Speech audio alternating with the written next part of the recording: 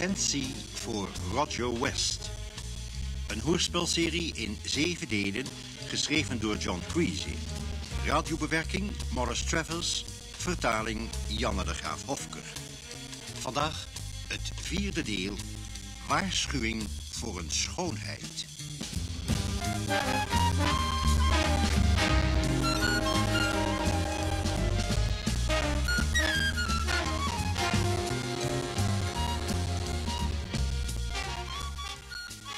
Was een paar minuten voor vier s'nachts. Aan de achterkant van haar flat in haar slaapkamer... sliep Gina Howard met haar hoofd afgewend van het raam. Het raam dat uitkeek op een smalle doorgang tussen twee huizen.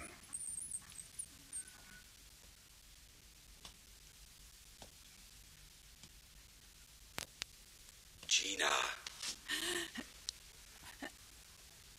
Gina. Wie? Domme! Hé daar, agent! Hierin! Het raam. Het staat open. Miss Howard. Miss Howard! Hij is, hij is weg. Hij, hij vloog door de, door de deur. Hoe kom jij? Naar de voorkant. Hier op. Ik ga binnen de deur. Gaat het, eh, Miss Howard? Ja, ik... Toen hij u hoorde, rende hij weg. Dat komt niet ver. Blijft u hier. Ik kom terug.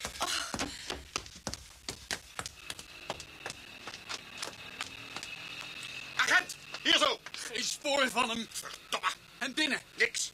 Als hij het gebouw uit is gekomen, kan hij alleen die kant op zijn gegaan. Rechts. Dat is Backington Way en daar kan hij vijf verschillende kanten op. Ja, eh, geef een oproep aan alle wagens. Ik wil dat de hele buurt uitgekant wordt. Dan moeten wat mannen het gebouw doorzoeken. Ik zelf zal de jaad vragen om de jongens van de vinger afdrukken. Nou, blijf er nou niet staan. Maak voor het.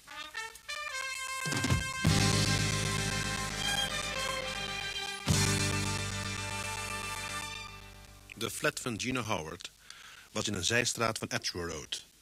Vlak bij Marble Arch.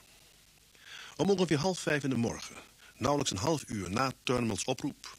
was het politieonderzoek in volle gang. Turnbull was samen met mij voor deze zaak aangewezen. Onze opdracht zoeken naar een moordenaar. Slachtoffers drie meisjes, alle drie schoonheidskoninginnen. Winnaressen van de voorrondes van de Conway misverkiezingen. En dan was er nog een vierde moord. Die op Harold Milsom.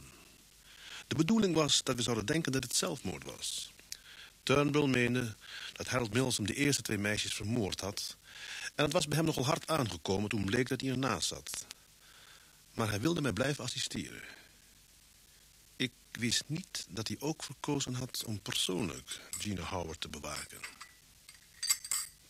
Aha, bent u daar, Miss Howard? Ik heb thee gezet. Zou een eh, cognacje niet beter geweest zijn? Ik heb liever thee. En, voelt u zich weer wat beter? Ja hoor, het gaat wel.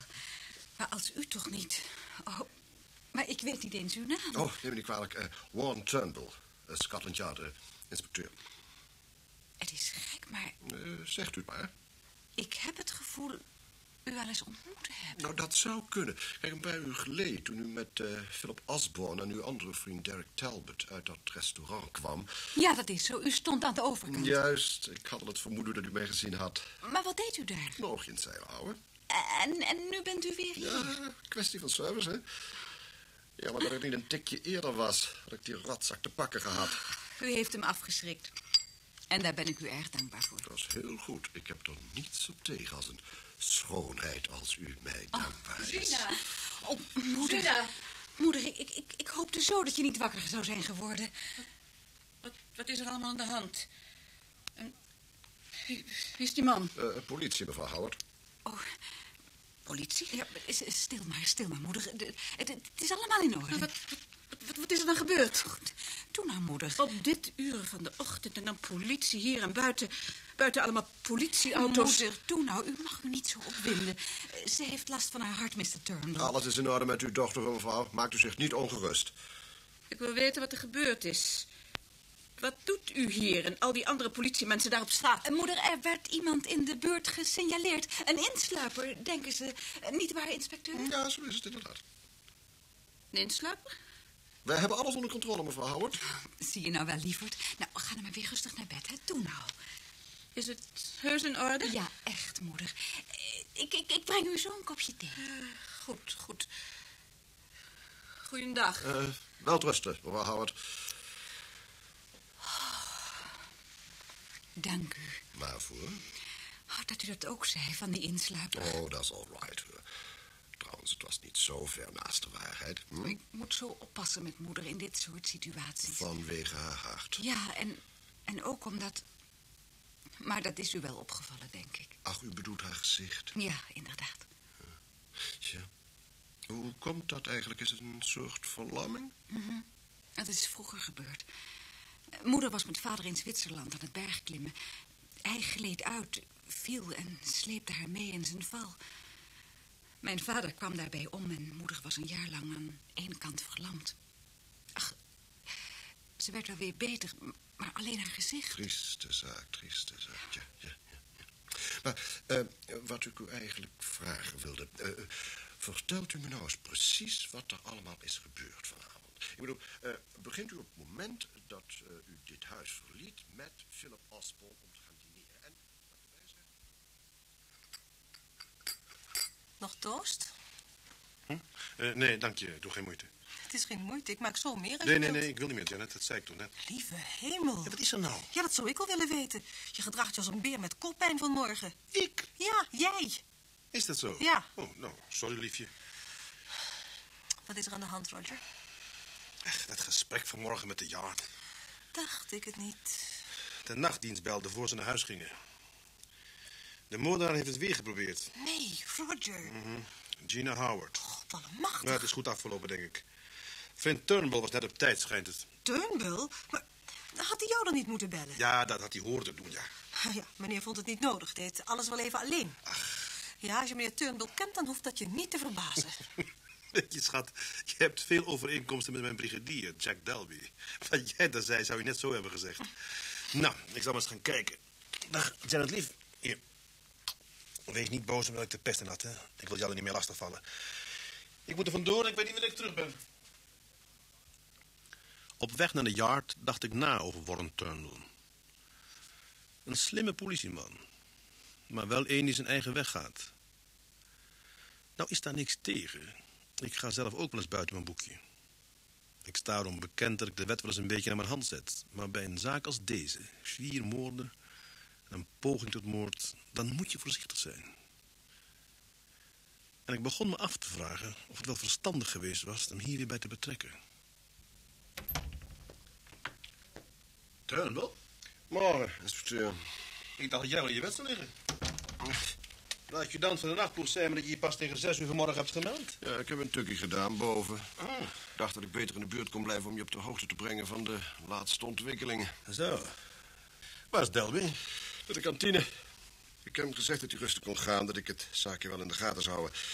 Zeg, eh, alsjeblieft, hier is mijn rapport van de afgelopen nacht. Bedankt. Alles staat erin. Goed, ik zal het doornemen. Wil je roken? Liever een van mezelf. Die zware Russische tabak van jou gaat er wat te ver. Dat was prima hoor. Maar ja, je moet sterk zijn om er tegen te kunnen. Ja, ja. Zo. Dus je kreeg Gina Howards aanvallen niet te pakken. Nee. Die jongen verdween in het niets. Ja, en de patrouillewagens? Niet? Niks bijzonders. Het is een stil buurtje. Vooral rond die tijd. Alles wat ze vonden waren een paar krolste katers... een dame die op weg was naar huis... en een sportwagen met brullende motor. En Gina Howard. Ik neem aan dat het huis voor en achter bewaakt werd. Ja, ja, ja. Hoe was zij dan toe toen je wegging? Oh, um, uitstekend. Ja, zo'n wonderlijk vrouwtje. Ja. Schoonheid met alles erop en eraan. En nog moedig ook, hoor. Wij zullen aan die twee vriendjes van haar ook wat aandacht moeten besteden. Talbot en Osborne. Die staan op het punt elkaar de strot af te snijden. Voor haar? Ja, voor wie anders. Het feit dat ze samenwerken bij die misverkiezingen zal daar niet veel aan veranderen. Vooral niet na die ruzie van gisteravond. Wat was dat? Voor de hand liggende zaak, hè? Osborne nam Gina mee uit voor een etentje. Talbot verscheen daar ook, maar Lazarus, nou, dat werd knokken. Talbot verloor. Zo. Ja. Weet je wat ik me eigenlijk afvraag? Nou? Kijk, als die aanvallen van vannacht nou eens niet onze moordenaar was, maar Talbot... Ach, kom zeg. Een meisje probeerde te wurgen waar hij gek op is. Ja, ja, ja, het is misschien wel gek, maar... Nou ja, je kent haar. Hè? Het is wat je noemt een schoonheid. Ze is het soort vrouw dat mannen betovert. Zodat ze er liever dood zien dan haar aan een ander te verliezen. Turnbull. Ja, dat is misschien vergezocht. Ik weet het, ik weet het, ik weet het. Ik weet het. Crime passionnel, maar gebeurt niet alleen in Frankrijk. Hoor. Ja, dat weet ik ook. Laten we nou eens aannemen dat hij tel bedacht dat hij het rustig kon doen... omdat men toch zou denken dat onze moordenaar van de andere schoonheden het gedaan zou hebben. Ja, nou, nee, nee, nee, nee. Ik blijf twijfelen. Het is een beetje theoretisch Ja, dat kan allemaal. zijn, zijn, maar- Sowieso geldt die aanleiding niet voor de andere moorden. Nee, wat geldt daar dan wel voor? Ja, Ja, de- de- dat is de grote vraag. ja, ja en, en, en er is trouwens nog iets, hè? Wat dan? Nou, onze onbekende vriend heeft drie schoonheden om zeep geholpen... en hij deed een poging om ook Gina Howard te pakken. Nou en? Als hij erop uit is om onbekend te blijven... zou hij dan door blijven gaan om het steeds weer met zijn blote handen te doen? Waarom niet? Nou, ik zou het in zijn plaats nooit doen. Hij weet dat wij hem zoeken. De kranten moeien zich ermee. Dus lijkt het mij dat hij wel van tactiek zou moeten veranderen. Iets doen dat wij niet verwachten. Ah, Sorry, sorry. Ja, ik zou maar naar huis gaan en eens goed uitslapen. Ja, ja, inderdaad, je hebt gelijk. Zeg, eh, ik ben vanmiddag weer terug, hè? Goed. Oh, Turnbull. Ja, Eén ding. Als er weer iets gebeurt zoals gisteravond en vannacht... wil ik dat horen op het moment dat het gebeurt. En van jou persoonlijk, oké? zeker. Ik vond het alleen niet zo belangrijk, tenminste niet om jouw nachtrust te verstoren. Ja, dat is erg vriendelijk. Maar daar zou ik me geen zorgen over maken. Oh, zoals je wilt. Zo wil ik het inderdaad. Begrepen? All right. Zeg, eh, tot straks dan, hè?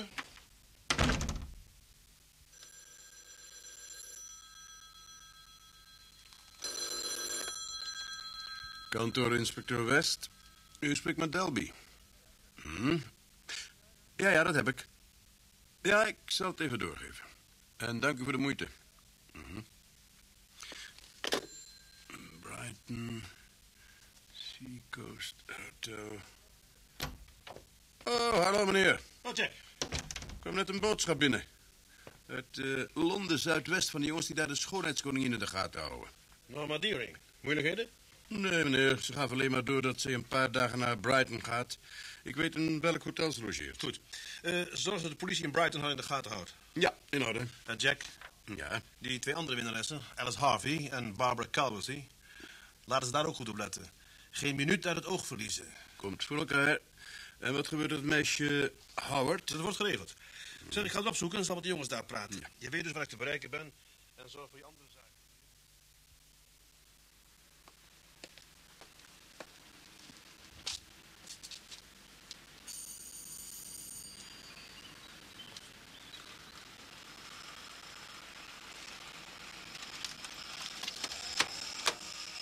Ja?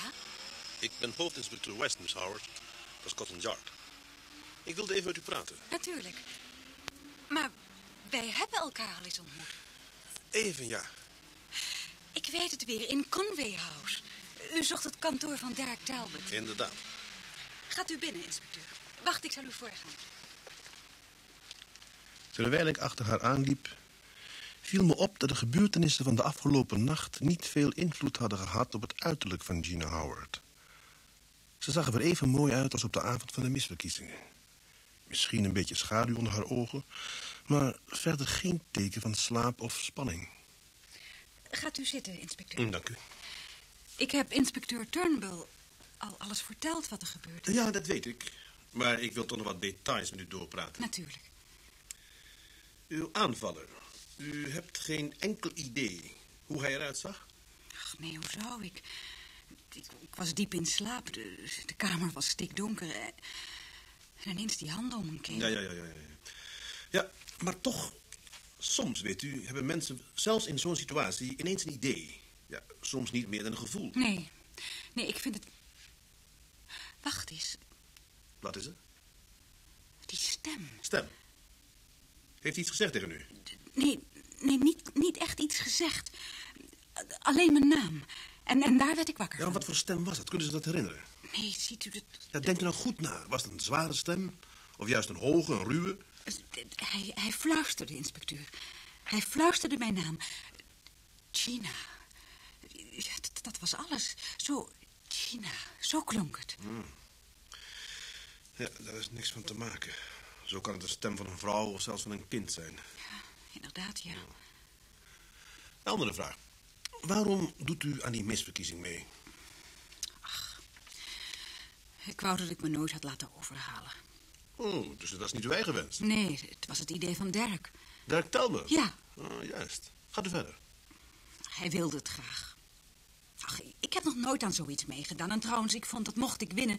men aan doorgestoken kaart zou kunnen denken. Omdat u Talbot kende. Niet alleen omdat ik hem kende, maar ook Philip Osborne en, en Wilford Dickerson. En, en juist omdat zij allemaal betrokken zijn bij die Ja, verkiezingen. natuurlijk. Ja, ja. Maar ik meende begrepen te hebben dat, tenminste na mijn gesprek met Dickerson, dat de jury absoluut onafhankelijk zou zijn. Ja, dat was zo. Daarom besloot ik ook om mee te doen. Hoe kent u Dickerson eigenlijk? Omdat u allebei in hetzelfde gebouw werkt? Nee, niet alleen daarom, inspecteur. Hij is een vriend van de familie. Tenminste, hij is een vriend van mijn moeder. Ja, ja, ja, ja. En Dirk Talbot en Philip Osborne zijn uw vrienden. Ja, maar hoezo... Nou, ik zou graag weten in hoeverre zij vrienden zijn. Gina, ben je daar? Doe nou, Maud. Gina, hou je nou Gina, wat is er? Wat- Hoe kon je dat doen? Oh, oh ik, ik wist niet dat, dat je bezoek had. Hoofdinspecteur West. Dag, meneer Dickerson. Dit is inspecteur West van Scotland Yard, Maud. Gina, je hebt tegen me gelogen. Hier, ik moet uit de krant lezen wat er vannacht in mijn eigen huis is gebeurd. Ja, maar lieverd, ik heb, ik heb toch niet gelogen? Gelogen of niet, je vertelde me niet de waarheid. Als ik niet toevallig naar Ellen Willoughby was gegaan en daar de krant had ingekeken... waarom probeer je dat voor mij te verbergen? Een moordenaar hier in huis die jou aanvalt. Ja, Gina, eh, daarom ben ik ook hier. Hoe lang dacht je me zo te beduvelen, Gina? Moeder, alsjeblieft, beduvelen. Ik, ik, ik wilde u niet onnodig ongerust maken. Wat zou u ervan zeggen als u eens rustig ging zitten, mevrouw Howard? Dank u. Ik beslis zelf wel of ik zal gaan zitten of niet. Naar mijn mening zou je er beter aan doen met de monster die moordenaar te grijpen. Ach, laat mij. Ik, ik- ik voel me uitstekend. Uitstekend. Zou je nou niet een pilletje nemen, Maud? Nee, nee, nee, ik heb geen pilletje nodig, Wilfred. Nou, toe, mevrouw, neemt u naar deze stoel. Nou, dank u, inspecteur. Was onbeleefd tegen u. Neemt u mij niet kwalijk. Eh, Alleen ik las het verhaal in de krant en... Ik begrijp het, mevrouw. Ik, ik vond het al zo vreselijk dat Gina het gedoe meedeed. Ik was er vanaf het begin af aan op tegen. Waarom dat, mevrouw? Ach, ik, ik, ik ben misschien ouderwets, maar ik vind al dat moderne gedoe. Overal foto's van halfnaakte meisjes in de bioscoop en de theaters. Half naakt en erger. Doe nou, moeder. Dat, dat wordt toegelaten. Ik noem dat onsmakelijk en gevaarlijk. Kijk naar wat er gebeurd is. Wat er vannacht bijna gebeurd is met Gina. Eh, Als ik aan vannacht denk, inspecteur... eh, moet ik er dan rekening mee houden dat de rest van de misverkiezingen eh, verboden zullen worden. Daarover kan ik niet beslissen, meneer Dickerson. Maar u bent het er toch mee eens dat continuering ervan een groot risico met zich meedraagt? Ik ben niet in staat om nu op dit moment te zeggen hoe men hierover denkt. Ach, natuurlijk moet dat ophouden. Het is gewoon absurd om ermee door te gaan. U weet, inspecteur, dat we het erover hebben gehad... dat het niet verstandig is om mee door te gaan. Inderdaad. Ik zal mijn invloed bij Conway laten gelden... om te besluiten met deze zaak te stoppen. Dat is uw zaak natuurlijk. Hoe lang werkt u al bij Conway, meneer Dickerson? Oh, jarenlang al, hè, Wilfred? Ja, ja, dat is zeker langer dan ik zou wensen dikwijls. Eh, Vroeger had Wilford een eigen bedrijf, inspecteur. Ah, Niet groot en gezien de ontwikkeling in de zakenwereld... was het al gauw nodig dat ik fuseerde met Conway. Oh, ik, eh, ik neem hem wel. Hallo? Scotland Yard. Is hoofdinspecteur West bij u? Ja, een ogenblikje. Voor u, inspecteur. Dank u. Ja, met West. Delby, meneer. Ja, Jack, wat is er? Slecht nieuws, meneer. Onze vriend is weer bezig geweest. Wat? Bericht van Londen Oost. Er is geschoten op Barbara Calverley.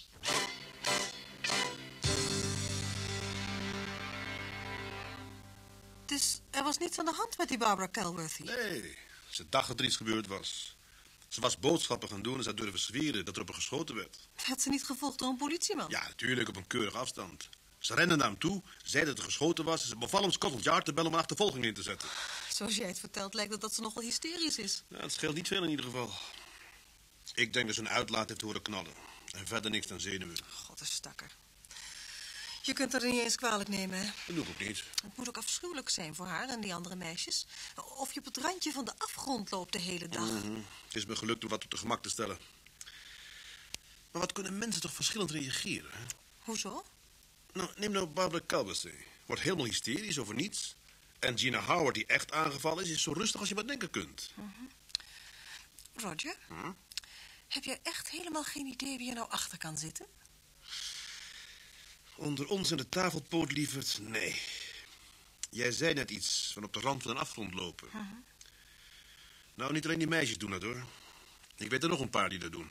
Ik weet het, lieverd. Het is voor jullie ook afschuwelijk. Iedereen verwacht altijd alles van de politie. En ze vergeten dat jullie ook mensen zijn, net als iedereen. Ja. Maar dat is niet het enige. Op dit moment hebben we geluk nodig. En daar moeten we gewoon op wachten. We kunnen eenvoudig helemaal niks doen. En Roger had gelijk. De eerste dagen wachtte hij of er iets gebeuren zou. Op de een of andere manier is dat wachten het allerzwaarste.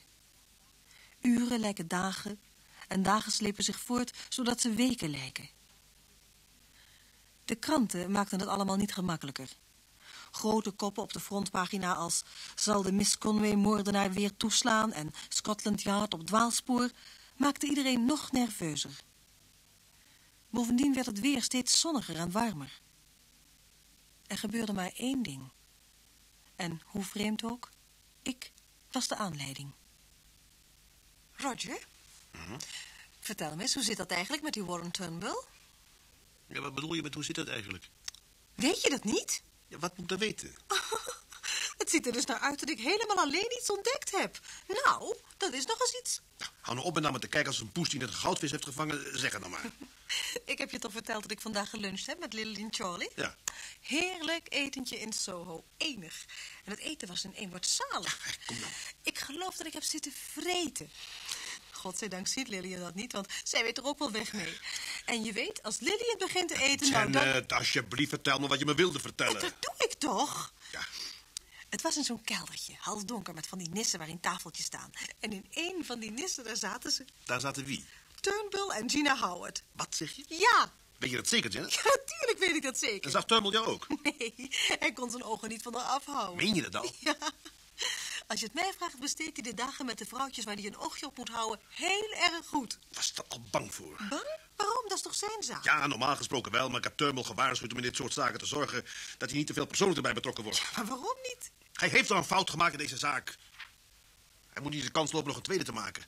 En kan er niet op aan laten komen dat hij dat doet. Oh, en wat ga je nou doen? Met hem praten? Eh, Ik weet niet. Misschien laat ik ons de gang wel gaan. Voorlopig tenminste. We zijn op de yard allemaal nogal gespannen.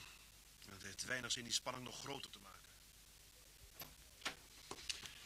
Zo, goedemiddag, Delby. En, waar is het opperhoofd? De hoofdinspecteur is bij de commissaris. Ah, verder dat ik weet waar ze het over hebben. Hier, kijk maar.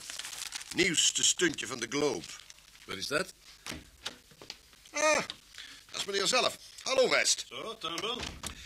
En waar had je het over met de grote baas? Ging het misschien hierover? Inderdaad. Wat staat er in die krant? De Globe looft een beloning uit, Jack. Duizend pond voor informaties die leiden tot opsporing en voorgeleiding van de Miss Conway-moordenaars. Zo, zo. Stuntje om de verkoop wat op te vijzelen. Ja, misschien, maar het is niet zo goed voor de yard en het moraal van de mensen hier. Dus de grote baas begint er met de zweep achteraan te zitten. Hm? Sir Guy is bezorgd. Zou jij dat niet zijn, als je in zijn plaats was? Ja, ik begrijp niet dat die moordenaar ineens niks meer van zich laat horen. Of zou het feit dat wij hem achter zijn broek zitten en al die publiciteit hem afschrikken? Het kan, Jack, maar ik geloof het niet. Nee, geloof ik ook niet. Nee, nee, nee. Hij zal er weer op iets zitten broeden. Zoals? Ja, dat weet ik niet, weet ik niet. Maar let op mijn woorden. Wurgen is er niet meer bij. Die komt met een andere methode, daar ben ik zeker van. Kantoor hoofdinspecteur West. Delby, Janet West is mijn man, hè? Ja, nog een blikje, mevrouw. U, vrouw inspecteur. Dankjewel. Hallo, Janet. Roger, kom alsjeblieft. De jongens, ik, ik ben doodsbang. Wat is er dan? Ze zijn allebei ziek. Ze hebben vreselijke pijnen, Roger. Heb je de dokter gebeld? Ja, is onderweg. Ik ook. De rit vanaf de yard naar huis was een nachtmerrie. In Victoria Street kwam ik vast te zitten in het verkeer. En daarna nog eens op Buckingham Palace Road. Ik had de angst gehoord in Janet's stem en diezelfde angst kneep nu ook mijn keel dicht. Hoe dichter ik bij huis kwam, hoe erger het werd. Toen kwam het ergste. Voor het huis stond een ambulance. Janet? Godzijdank, Roger, waar bleef je nou? Verdomme verkeer. Zeg, wat is er? Die, ambulance. Hij heeft de dokter omgebeld. Waar is hij? Hier, inspecteur. U hoeft niet erg ongerust te zijn. Het had erger kunnen zijn. Hoe erg is het? Wat is er met zijn dokter? De jongens hebben iets verkeerds gegeten. We hebben hun maag leeggepompt. Nogal wat snoep. Vooral chocola. Chocola. Zie je wel, ik heb het duizend keer gezegd. Ze krijgen veel te veel zakgeld. Rustig nou, Janet. Niks rustig nou. Jij was er niet en ik wel. Het was verschrikkelijk. De pijn van die kinderen. Nou, nou, nou, nou, nou, mevrouw West. De jongens worden wel weer beter. Ja. Is opname noodzakelijk, dokter? Eén dag. Dan houden we het in de gaten. Dat is beter, denk ik. Ik, eh, ik, ik zal wat kleren voor ze gaan inpakken. Sorry, Roger. Het was te schrikken en alles. Ja, schat,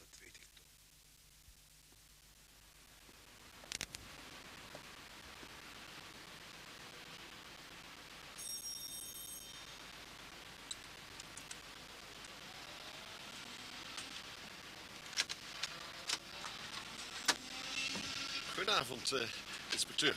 Ja, zo. Ja, ik dacht, eh, ik eh, loop even langs. eh is vragen hoe het met de jongens is. eh, eh, Verrekt aardig van je. Kom binnen. graag, graag.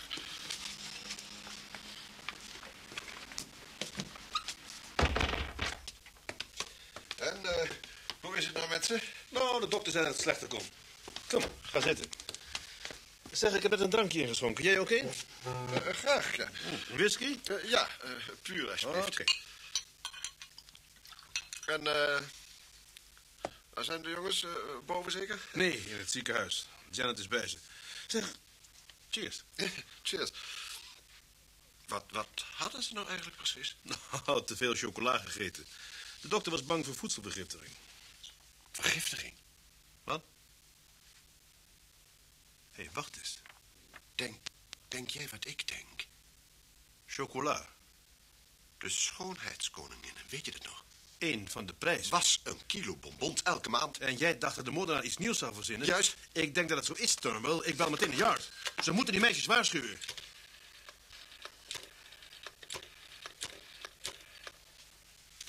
Huh? Gibby? Roger West hier. Ik wil dat direct een bericht uitgaat... dat al die meisjes van de misverkiezing... Wat? Ja. Huh? Mijn god. Turnbull, wat is? We hadden het bij het rechte eind. Alice Harvey, de winnares van Londen Oost, kreeg aan chocola. Een half uur geleden is in het ziekenhuis opgenomen. Waarschijnlijk vergiftigd met arsenicum.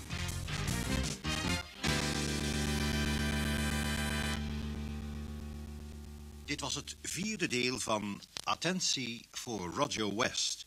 Een hoorspelserie in zeven delen, geschreven door John Creasy. Radiobewerking Morris Travers, vertaling Janne de Graaf Hofker. De rolverdeling.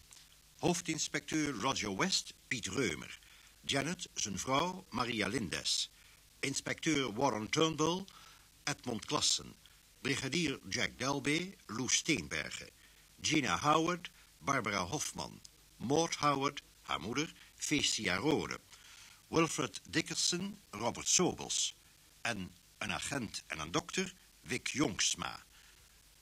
Technische realisatie, Leon Dubois en John van Waas. Regie, Hero Muller.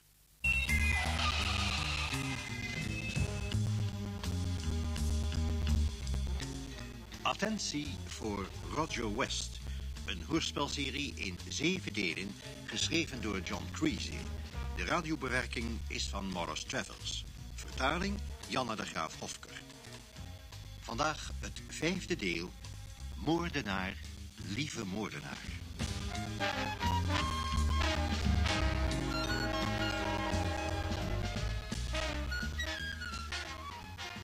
Mevrouw West! Mevrouw West! Ja, zuster? Uw man aan de telefoon. Oh, neemt u dit toestel maar. Dank u. Hallo, lieverd. Hallo? Hoe is het met de jongens? Richard voelt zich minder goed dan Martin, maar het komt allemaal in orde, zegt de dokter. Ze slapen. Gelukkig. Ik wacht nog even op de dokter. Ja, natuurlijk. Eén ding is zeker. Ze zullen zich wel nooit meer volstoppen met chocolaatjes. Die maagpompgeschiedenis vonden ze niet zo leuk. Laten we blij zijn, schat. Zij zijn er beter afgekomen dan Alice Harvey. Wie is Alice Harvey? Roger, Bedoel je een van die meisjes? Ja, een van die meisjes. Zij had ook chocola. Maar bij haar zat er arsenicum in. Arsenicum? Ze is in het ziekenhuis in Londen-Noord opgenomen. De doktoren vechten voor haar leven. God. De moordenaar werkt dus zijn lijst af.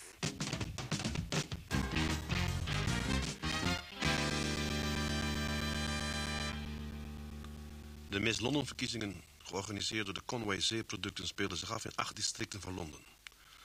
Zeven van die verkiezingen waren er geweest tot nu toe. Van de zeven winnaressen waren er drie gevurgd en een vierde was maar net ontkomen aan de moordenaar. Eén van de prijzen voor de mededingsters was een grote doos bonbons. En die was nu zelfs een moordwapen geworden. Alice Harvey werd ermee vergiftigd. Ondanks de politiebewaking voor alle meisjes had de moordenaar tot nu toe het geluk aan zijn kant.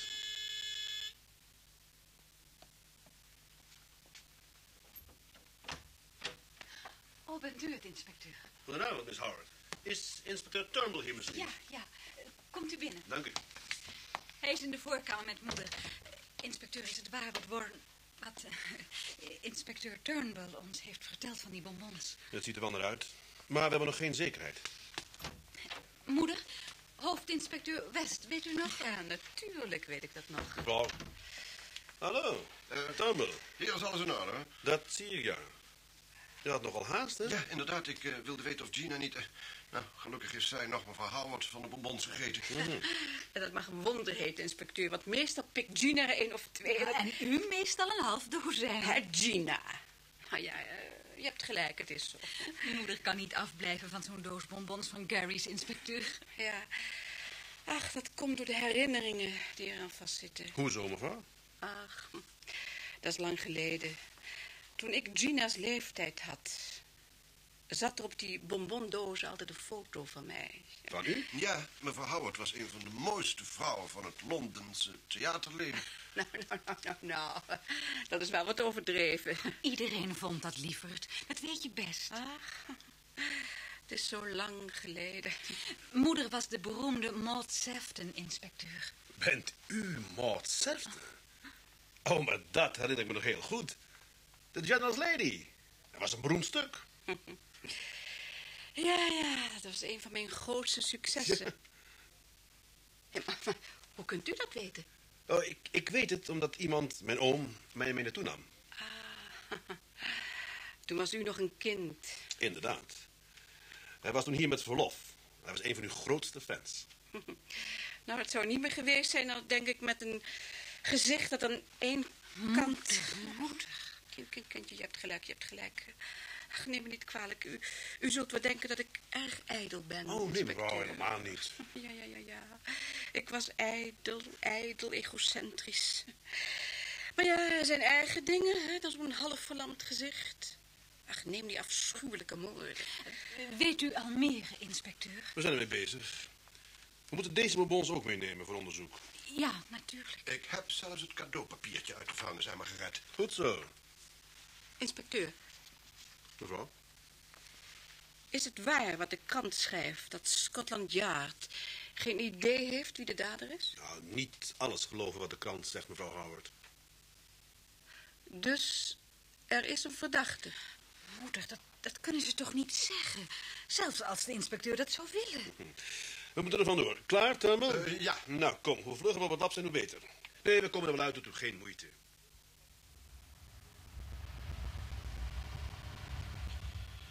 Maar wel een zeepert, hè? Wat bedoel je? Nou, toen mevrouw Howard vroeg of we een verdachte hadden. Verdachte? Er is zelfs geen enkele aanwijzing. Ja, daar moeten we aanwijzingen zien te vinden. Het draait alsmaar om het motief. Het motief. Eh, enig idee? Nog niet. Eh, kunnen we niet iets verzinnen? Verzinnen, ja, als het daarom gaat. Verzinnen kunnen we van alles. Bijvoorbeeld dat we te doen hebben met een krankzinnige, een nieuwe Jack the Ripper. Gek die mooie meiden haat. Ja, Of dat er een idioot te vinden is die wil dat er één meisje wint en daarom de rest uitroeit. Wat is er? Dat laatste, daar zat ik nou net aan te denken. Man staat eruit te speculeren. Niets wijst in die richting. Het motief kan heel ergens anders liggen. En dat is het domme van verzinnen, Turnbull. Het is gevaarlijk zo te denken. Zo kun je een zaak als deze niet oplossen. Bedankt voor het lesje. Dat was geen lesje. Maar nou je het toch over hebt, zou ik wel eens iets anders. Hoofdbureau voor hoofdinspecteur West, HB voor hoofdinspecteur West. Wat? HB voor hoofdinspecteur West. Eh, West voor hoofdbureau. Spreekt u maar. Eh, inspecteur, er is zojuist een bericht binnengekomen van het wijkbureau Londen Noordoost. Bericht luidt. Alice Harvey, overleden, 21 uur 6. Over en uit.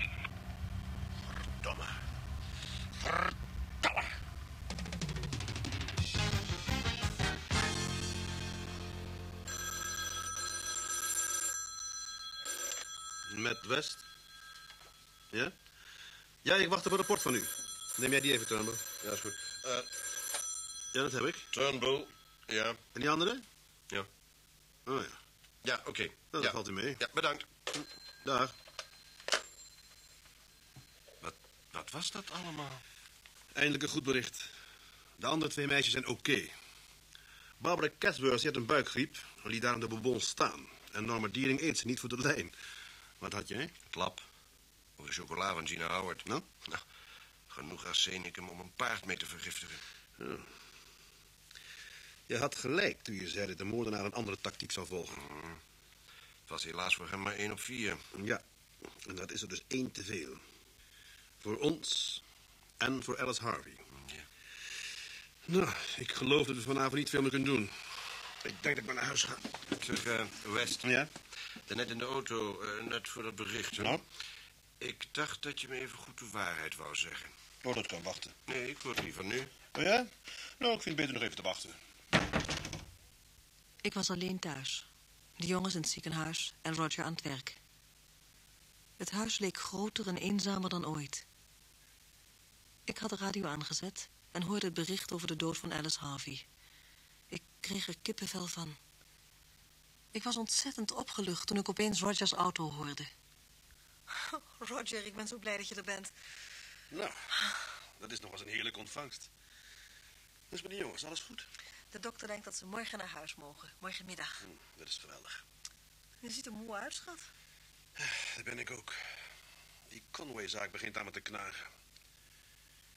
Ik geloof dat ik er niet uitkom, zover als ik er nu zie. Ach, schat. Nee, echt, Janet. Niks om op af te gaan. Geen aanwijzing in welke richting dan ook. En dan ook nog dat gedoe met Turnbull. Dat helpt ook niet bepaald. Heb je nog niets tegen hem gezegd? Hm, Bijna. Het zijn die vreemde manieren van hem. Aan de ene kant open en eerlijk... en aan de andere kant zo licht geraakt als wat. Maar hij voelt wel dat ik niet zo gelukkig ben... zoals de zaken er nu voor staan. Ja, dat hij valt op Gina Howard kun je hem niet kwalijk nemen. Ze is verschrikkelijk mooi. Hij moet zijn werk doen, Janet. Ja, oké. Vergeet niet dat Gina twee andere minnaars heeft... die Cas moet wel kunnen drinken. Derek Talbot en Philip Osborne. Nou en? Stel je voor dat een van die twee de moordenaar is. Dat zou kunnen. Trouwens, zoals het er nu uitziet, kan iedereen zijn. Maar als het één van die twee is en Turnbull is emotioneel bij Gina betrokken... Dan zou Turnbull wel eens een foute beslissing kunnen nemen, bedoel en op het verkeerde moment. Weet je wat jij aan het doen bent? Nou? Jij maakt je zorgen over dingen die zouden kunnen gebeuren en dat is niets voor jou. Weet je wat je moet doen? Een heerlijk warm bad nemen en gaan slapen. Zet Turnbull en de hele zaak uit je hoofd. Morgen is er weer een dag. En ik zal ervoor zorgen dat jij mijn advies opvolgt. Hallo? Ja, kantoor van hoofdinspecteur West. U spreekt met brigadier Dalby. Met wie? Kom nou zeg. U weet dat de berichten voor de pers via de persdienst gaan. Wat? Oh, nou, als u dat dan niet weet, gaat u dan maar naar uw hoofdredacteur. Kranten, jongens. Of de kranten nog niet genoeg stof hebben momenteel. Vooral over deze moordzaak. U heeft eh, vanmorgen met de pers gepraat, hè? Ja. Vanmorgen grote koppen over Alice Harvey. De Globe heeft nog eens 500 pond extra uitgeloofd. Voor mij zit Conway erachter. Meent u dat? Ja, die negatieve publiciteit doet hen ook geen goed. Ja, wacht maar, ik neem hem wel. Nee. Matt West. Wat? Ja, ik ben al weg. Kom mee, Jack. Wat is er? inspecteur? Het was de man die Talbot's flat in de gaten houdt. Moeilijkheden? Philip Osborne is daar een kwartiertje geleden aangekomen. Grote kans dat daar de hel losbreekt.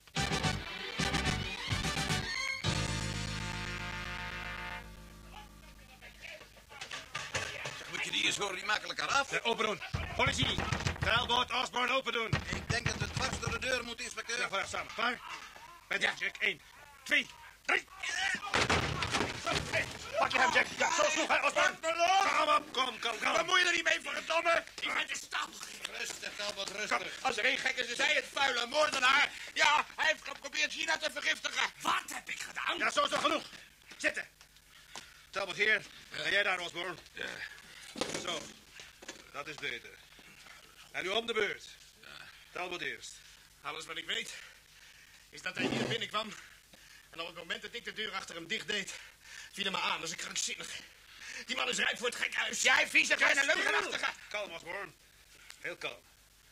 Vertel maar eens wat je bedoelde met wat je zei voor Gina Howard vergiftigen. Ja, met die bonbons. Zo probeerde hij haar te versieren. Ach, man, waar praat je toch over? Moet je morgen. Nou, laat hem. Vertel op. Vanmorgen las ik in de kranten over die Alice Harvey. Ja? Ja, nou, toen herinnerde ik mij ineens. Eergisteren was ik in zijn kantoor in Conway House. Een vergadering over de misverkiezingen. En op zijn bureau stond een grote doos met twee pond Gary bonbons. Met Gina's adres erop. En jij dacht... Jij moet naar een dokterman. Een psychiater. Ontken jij dat er een doos bonbons op je bureau stond? Voor Gina? Nee, dat ontken ik niet. Idioot.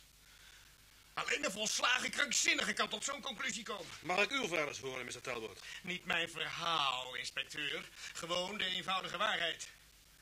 De hele zending bonbons was die morgen afgeleverd op Conway House om te versturen. Ik heb de doos die voor Gina bestemd was eruit gehaald... omdat ik die aan haar persoonlijk wilde geven. Ik hoopte haar die avond te zien. Maar toen bleek dat ik die avond een andere afspraak had. Hm. En wat gebeurde er toen, die doos bonbons? En die heb ik weer bij de andere gezet, die per post bezorgd zouden worden. En is er iemand die dat kan bevestigen? Dan vraagt u het aan Dickerson, secretaresse. Zij post die dingen meestal. Juist, ja. Wat vindt u ervan, Mr. Osborne? Ik, ik weet het niet. Nou ja, als dat waar is, dan moet ik mij verontschuldigen, Talbot. Zo gemakkelijk kom je er niet af, makker. Wat dacht je van het gebroken meubilair? En andere zaken, waaronder nogal waardevolle dingen. Om nog maar te zwijgen over een nieuwe deur. Stuur maar een rekening. Maak je er maar geen zorgen over, die komt.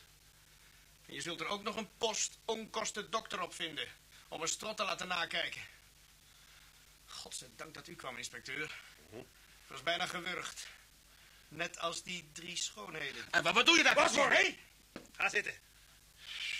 Ik zou je willen aanraden in vervolg even na te denken voordat je in actie komt.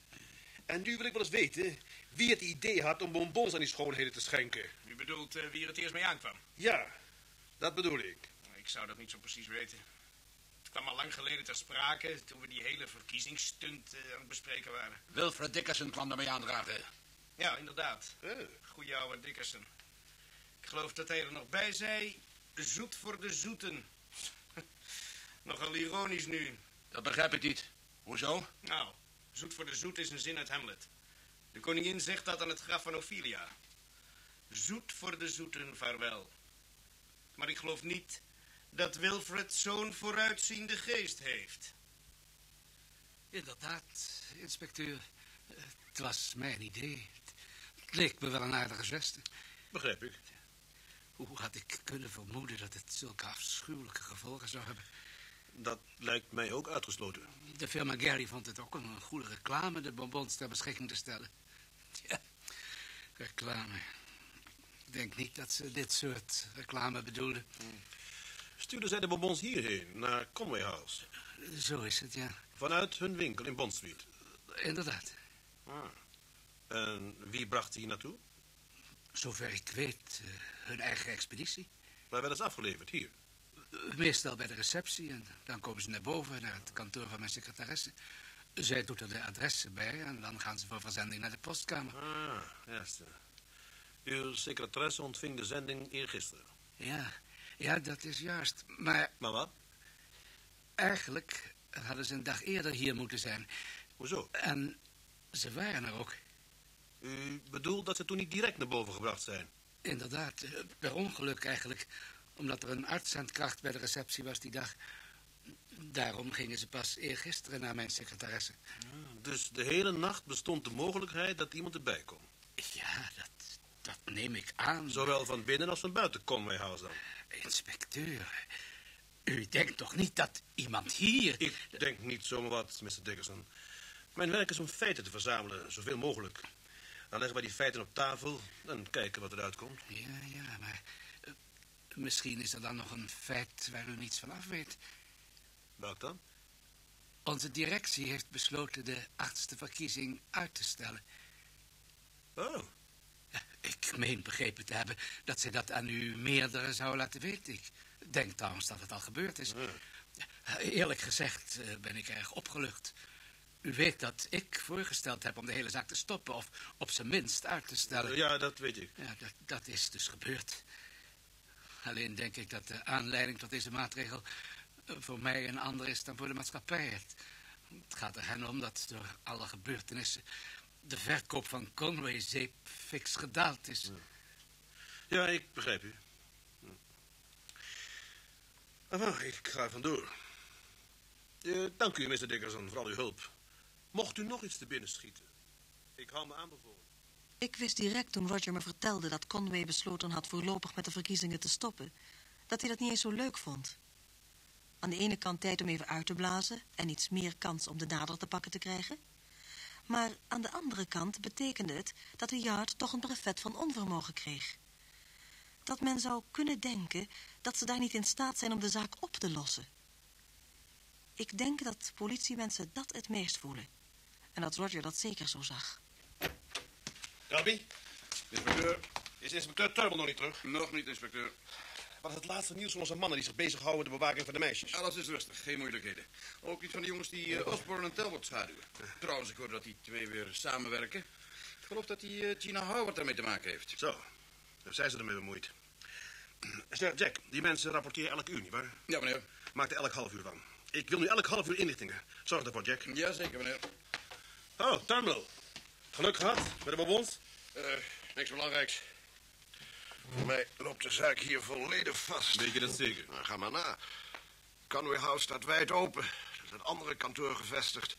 De hele dag lopen er mensen in en uit. We weten dat die dozen bonbons daar meer dan 24 uur hebben gestaan. Bij de ingang, bij de receptie. En dan, om het voor onze moordenaar nog gemakkelijker te maken... stonden die dozen nu en dan onbeheerd. Dus ja, hij had alle mogelijkheden. Ja, hij kon op allerlei manieren die dozen bonbons verwisselen vergiftigen. Even snel verwisselen. Ja, of hij heeft zich laten insluiten in het gebouw... en het heel kalm en rustig gedaan. Dat kan natuurlijk ook. Bureau van hoofdinspecteur West, met Delby. Ja? U heeft wat? Wat is het, Jack? Marriott, de man die uh, Gina Howard uh, schaduwde. Gina? Wat is er met haar? Ja, rustig, Turnbull. Geef hier de telefoon, Jack. Marriott, West hier. Wat is er gebeurd? Nou, rustig, man. Ah? Hm. Ja, ja, ja. Nou, terug naar je plaats en maak er niet zo'n toestand over. Gebeurt ons allemaal wel eens. Wat, wat is er? Hij is er kwijt. Kwijt? Ja, hij volgde haar toen ze haar kantoor in Conway House verliet. Kwam ineens in een grote groep toeristen terecht. En opeens was ze weg. Geen spoor meer. Verdomme, daar zal die knap van lusten. Ja, wagen niet, Turnbull. Jack, verbind me met de flat van de Howards. Ik wil mevrouw Howard spreken. Ja, meneer. Nou, ik zie nog wel, West. Waar ga je heen? Naar mijn wagen. Gina Howard zoeken? Ja, in ieder geval niet joyride. Jij blijft hier, Turnbull. Dat is een bevel. De telefoon gaat over, inspecteur. Geef maar. Hallo? Mevrouw Howard? Ja, met wie? Hoofdinspecteur West, mevrouw. Oh, dag inspecteur. Is uw dochter toevallig thuis? Nee, nee, Gina is er niet. Ze is vanmorgen gewoon naar haar werk gegaan. Ah. En wanneer verwacht u haar terug? Eerder dan gewoonlijk? Nee, ze heeft niet gezegd dat ze vroeg zou thuiskomen. Ah. Goed. Dank u, mevrouw. Inspecteur, is er iets? Iets met Gina? Uh, nou, nee, ik wil er even spreken, meer niet, mevrouw. Uh, probeert u haar kantoor dan? Dat is een goed idee.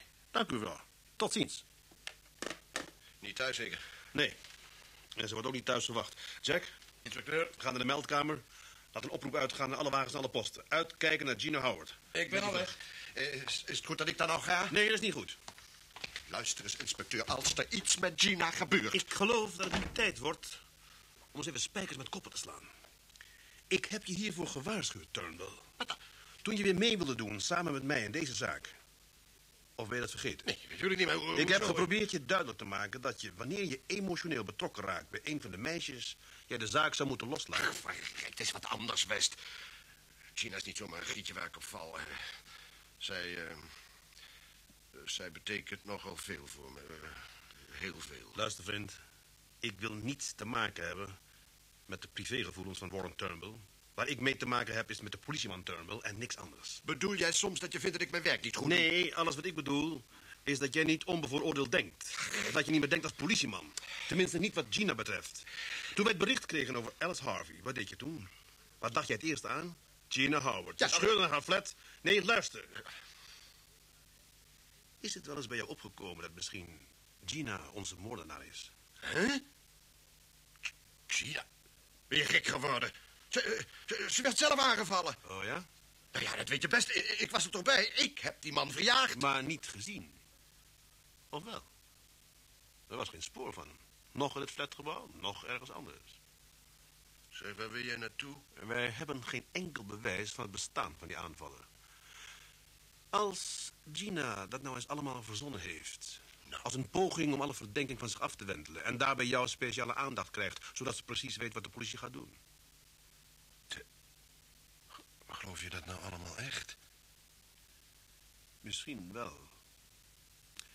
Misschien niet. Ja, maar...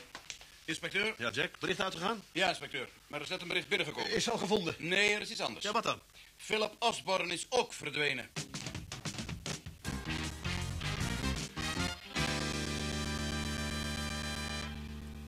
Roger, toe, hou op. Hou op met wat? Met dat geijsbeer. Ik voel me al niet lekker. Mijn hele stem is weg. En dan ook nog dat geijsbeer achter mijn rug. Ga alsjeblieft zitten. Daar heb ik nu geen zin in.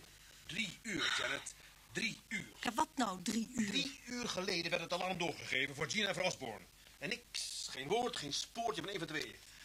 Ik ga terug naar de yard. Ja, waarom? Je kunt daar niets meer doen dan hier. Ze weten waar je bent. En als er iets aan de hand is, dan bellen ze je heus wel. Ja, je hebt gelijk. Rol die knot wel eens even hierheen, schat. Huh? Oh, ja, hier. Is dat nog steeds die trui voor Martin waar je aan werkt voor de winter? Vraag niet naar de bekende weg. Je weet het best. Weet je nog dat je daar aan begonnen was, die eerste avond... dat we van de misverkiezingen hoorden? Ja, dat weet ik nog. En eerlijk gezegd ben ik niet zoveel verder met die trui... als jij met die zaak bent, hè? Jij schiet meer op dan wij. We hebben intussen vier slachtoffers. Twee meisjes die uit doodsangst waarschijnlijk niet meer kunnen slapen. En één die uit ons gezichtsveld is verdwenen. Hé, Roger, Ja, denk jij echt wat je tegen Turnbull zei... dat Gina de moordenaar is? ik weet het niet, Janet. Dat is het belazerde van deze zaak. Alles kan. En als het is... dan is het er heel goed gelukt om de politie af te schudden... en de volgende poging te wagen. En die Philip Osborne, zouden ze samenwerken? Eh, ook dat kan nog. We kunnen eenvoudig niets uitsluiten. Het is een klus, hoor, dit keer. Je hebt er meer gehad. En opgelost. Ik ga een pot koffie zetten. Ja, heerlijk. Het is zo gebeurd. Ik liep naar het raam.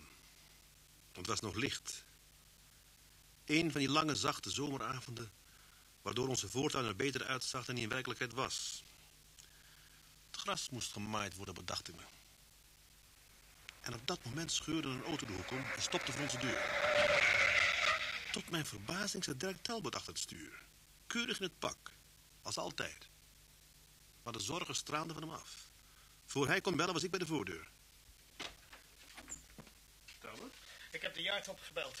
Hoorde dat u hier was. Ja, oh. Dat is niet zoals het hoort. Het is niet de gewoonte het privéadres van de inspecteur door te geven. Trumbull gaf het mij. Het is belangrijk. Het gaat over Gina. Nou, kom binnen. Zo, ga zitten. Laat eens horen. De koffie is klaar, Roger. Het duurt een beetje langer dan ik... Ach, neem me niet kwalijk. Ik wist niet dat je bezoek had. Eh, Janet, dit is Dirk Talbot. Hoe maakt u het, mevrouw? Neemt u me niet kwalijk, maar het is belangrijk. Het gaat over Gina Howard. Is ze gevonden? Nog niet. Maar ze moet gevonden worden. En snel, inspecteur. Osborne heeft haar. Ja, wat bedoelt u met heeft haar? Wat ik zeg. Heeft haar waar? Ja, dat is het juist. Ik weet het niet. En hoe weet u dat hij haar heeft? Omdat ik wat detectivewerk heb gedaan. Direct toen ik hoorde dat zij vermist werd, dacht ik aan Osborne. Ik gokte op dat restaurantje waar hij altijd heen gaat. En waar hij met u vocht? Juist. En ik had goed gegokt. Hij is daar geweest, inspecteur. Vanavond, met Gina. Weet u dat zeker? Ik sprak de chef Ober.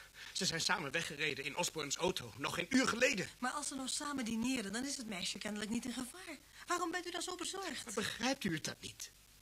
Inspecteur, Osborne is de moordenaar. U hebt toch gezien hoe hij mij probeerde te wurgen in mijn flat? En nu heeft hij Gina. U moet hem vinden, inspecteur, voor het te laat is. Er is geen tijd te verliezen.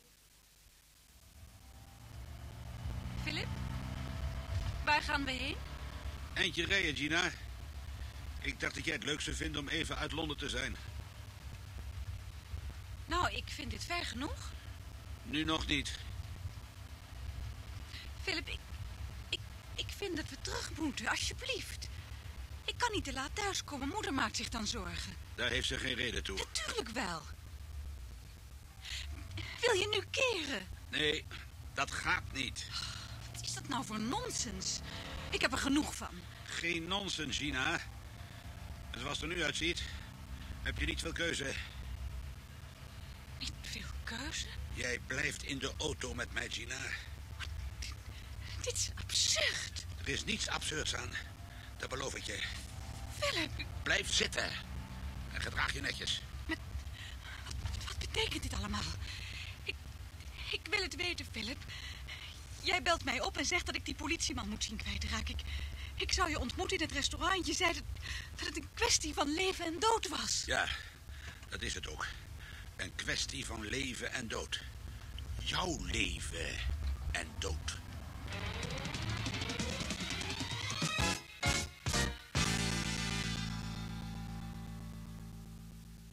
U hebt geluisterd naar het vijfde deel van Attentie voor Roger West. Een hoorspelserie in zeven delen, geschreven door John Creasy. Radiobewerking Morris Travers. Vertaling Janne de Graaf Hofker. U hoorde Piet Reumer als hoofdinspecteur Roger West. Maria Lindes als Janet, zijn vrouw. Edmond Klassen, inspecteur Warren Turnbull. Loes Steenbergen, brigadier Jack Delby. Barbara Hofman was Gina Howard. Feest Ciarone, Maud Howard, haar moeder. Wim de Meijer als Derek Talbot. Robert Sobels, Wilfred Dickerson en Pieter Lutz als Philip Osborne. Technische realisatie Leon Dubois en Teun Lammes. De regie had Hero Muller. Oproep voor hoofdinspecteur West. Attentie voor hoofdinspecteur West.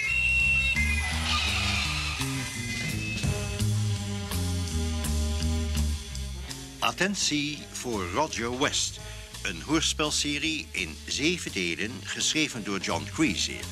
De radiobewerking is van Morris Travers.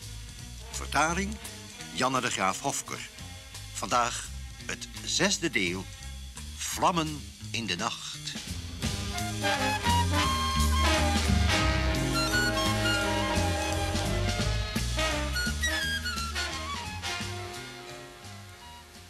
Sinds Roger bij Scotland Yard zit, geloof ik niet dat hij ooit een zaak heeft behandeld die hem zo vreselijk dwars zat als die moorden op de schoonheidskoninginnen. Hij ging door het leven als een beer met hoofdpijn. Eerlijk gezegd was hij soms onuitstaanbaar. Doe nou, nu die telefoon hem op.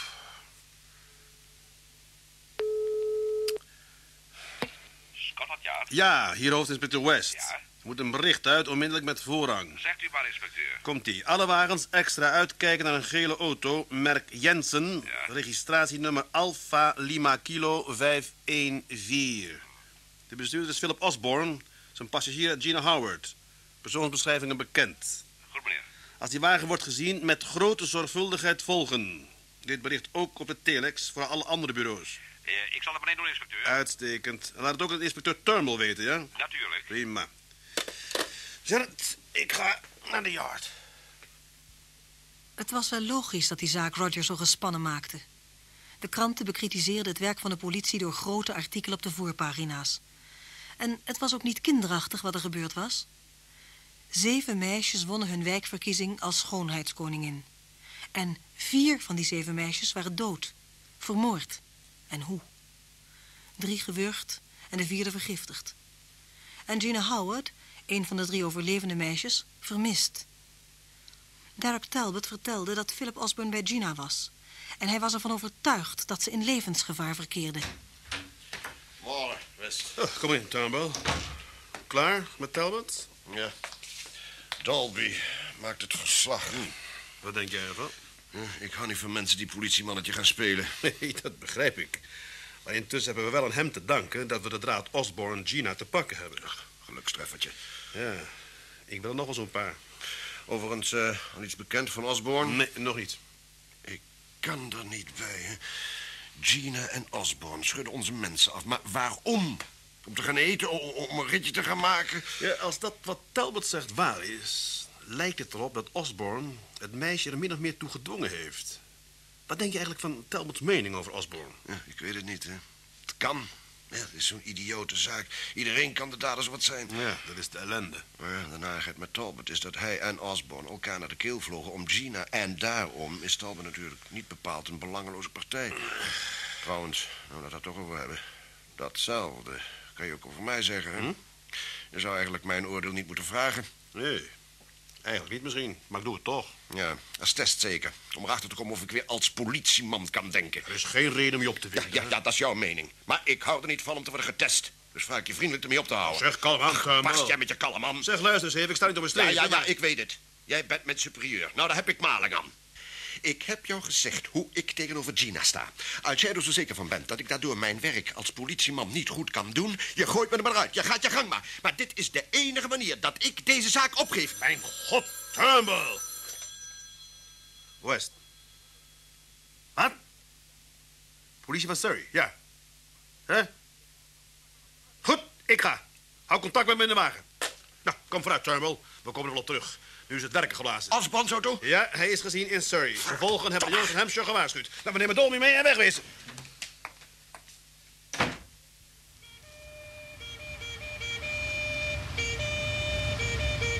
Die sirene kan allemaal af. We zijn door de eerste drukte heen. Ik hoop dat die politie van Surrey die eh, auto van Osborne niet is kwijtgeraakt. We horen geen woord van ze. Dat is niet te hopen dat ze nog kwijt zijn. Kom op, plankgast, Jack. We kunnen ons geen tijdverlies permitteren. Goed, inspecteur. HB verhoofd inspecteur West. HB verhoofd inspecteur West, over. Ja, hier West, ik luister. Inspecteur, er is bericht van de politie Surrey. De gezochte wagen is gevonden in de buurt van Hiley, over. Ze hebben hem. Mag ik meer bijzonderheden? De wagen staat geparkeerd in de struiken op een zijweg dat naar een klein huis voert. Gina, wat is er met Gina? Iets bekend over het meisje? Of de bestuurder Osborne? Eh, ja, men vermoedt dat ze in het huis zijn. Oh. Goed, bedankt. Over de sluiten maar. Je hebt het gehoord, Jack? Hiley, Surrey en scheur maar.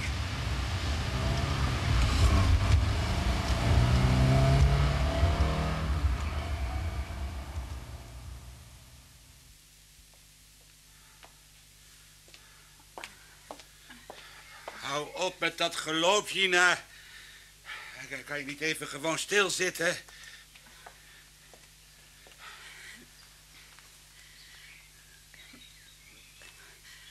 Waarom... Waarom zijn we hier, Philip? Eh, vind je het hier niet mooi? Ja, oh ja, ik, ik, ik vind het enige. Het is, het is een enige huisje, maar... Het is van een goede vriend van me. Ik mag het gebruiken als die weg is. Ik wil terug naar huis, Philip. Nee! Nee, nee, nee, nee, nee, nee. Maar, maar begrijp je dan niet dat moeder zich vreselijk zorgen maakt? Je, je weet hoe zwak haar hart is. Ik, ik, moet terug naar huis. Nee, nee, Londen is slecht. Alle grote steden zijn slecht. Te veel lawaai, te groot. Te veel mensen. Daar kun je niet goed denken. Hier, hier, hier, hier. Hier is het beter. Hier is het beter, ja. Maar ik, ik kan... Ik kan toch hier onmogelijk blijven? Oh ja, ja, ja, dat kun je wel. En dat zul je ook. Dat, dat kan ik niet. Jij blijft. Ja, het is hier veel beter, vrediger. Luister maar, hier, hier. Je kunt de vogels hier horen, hè? Hoor je wel? Hoor je wel? Philip, je bent totaal overspannen. Waarom kun je je kop niet houden, hè? Naar de vogels luisteren, Ja, hè? ja, ja, ja. Het is goed. Wat, wat, wat klinkt dat dichtbij, Philip?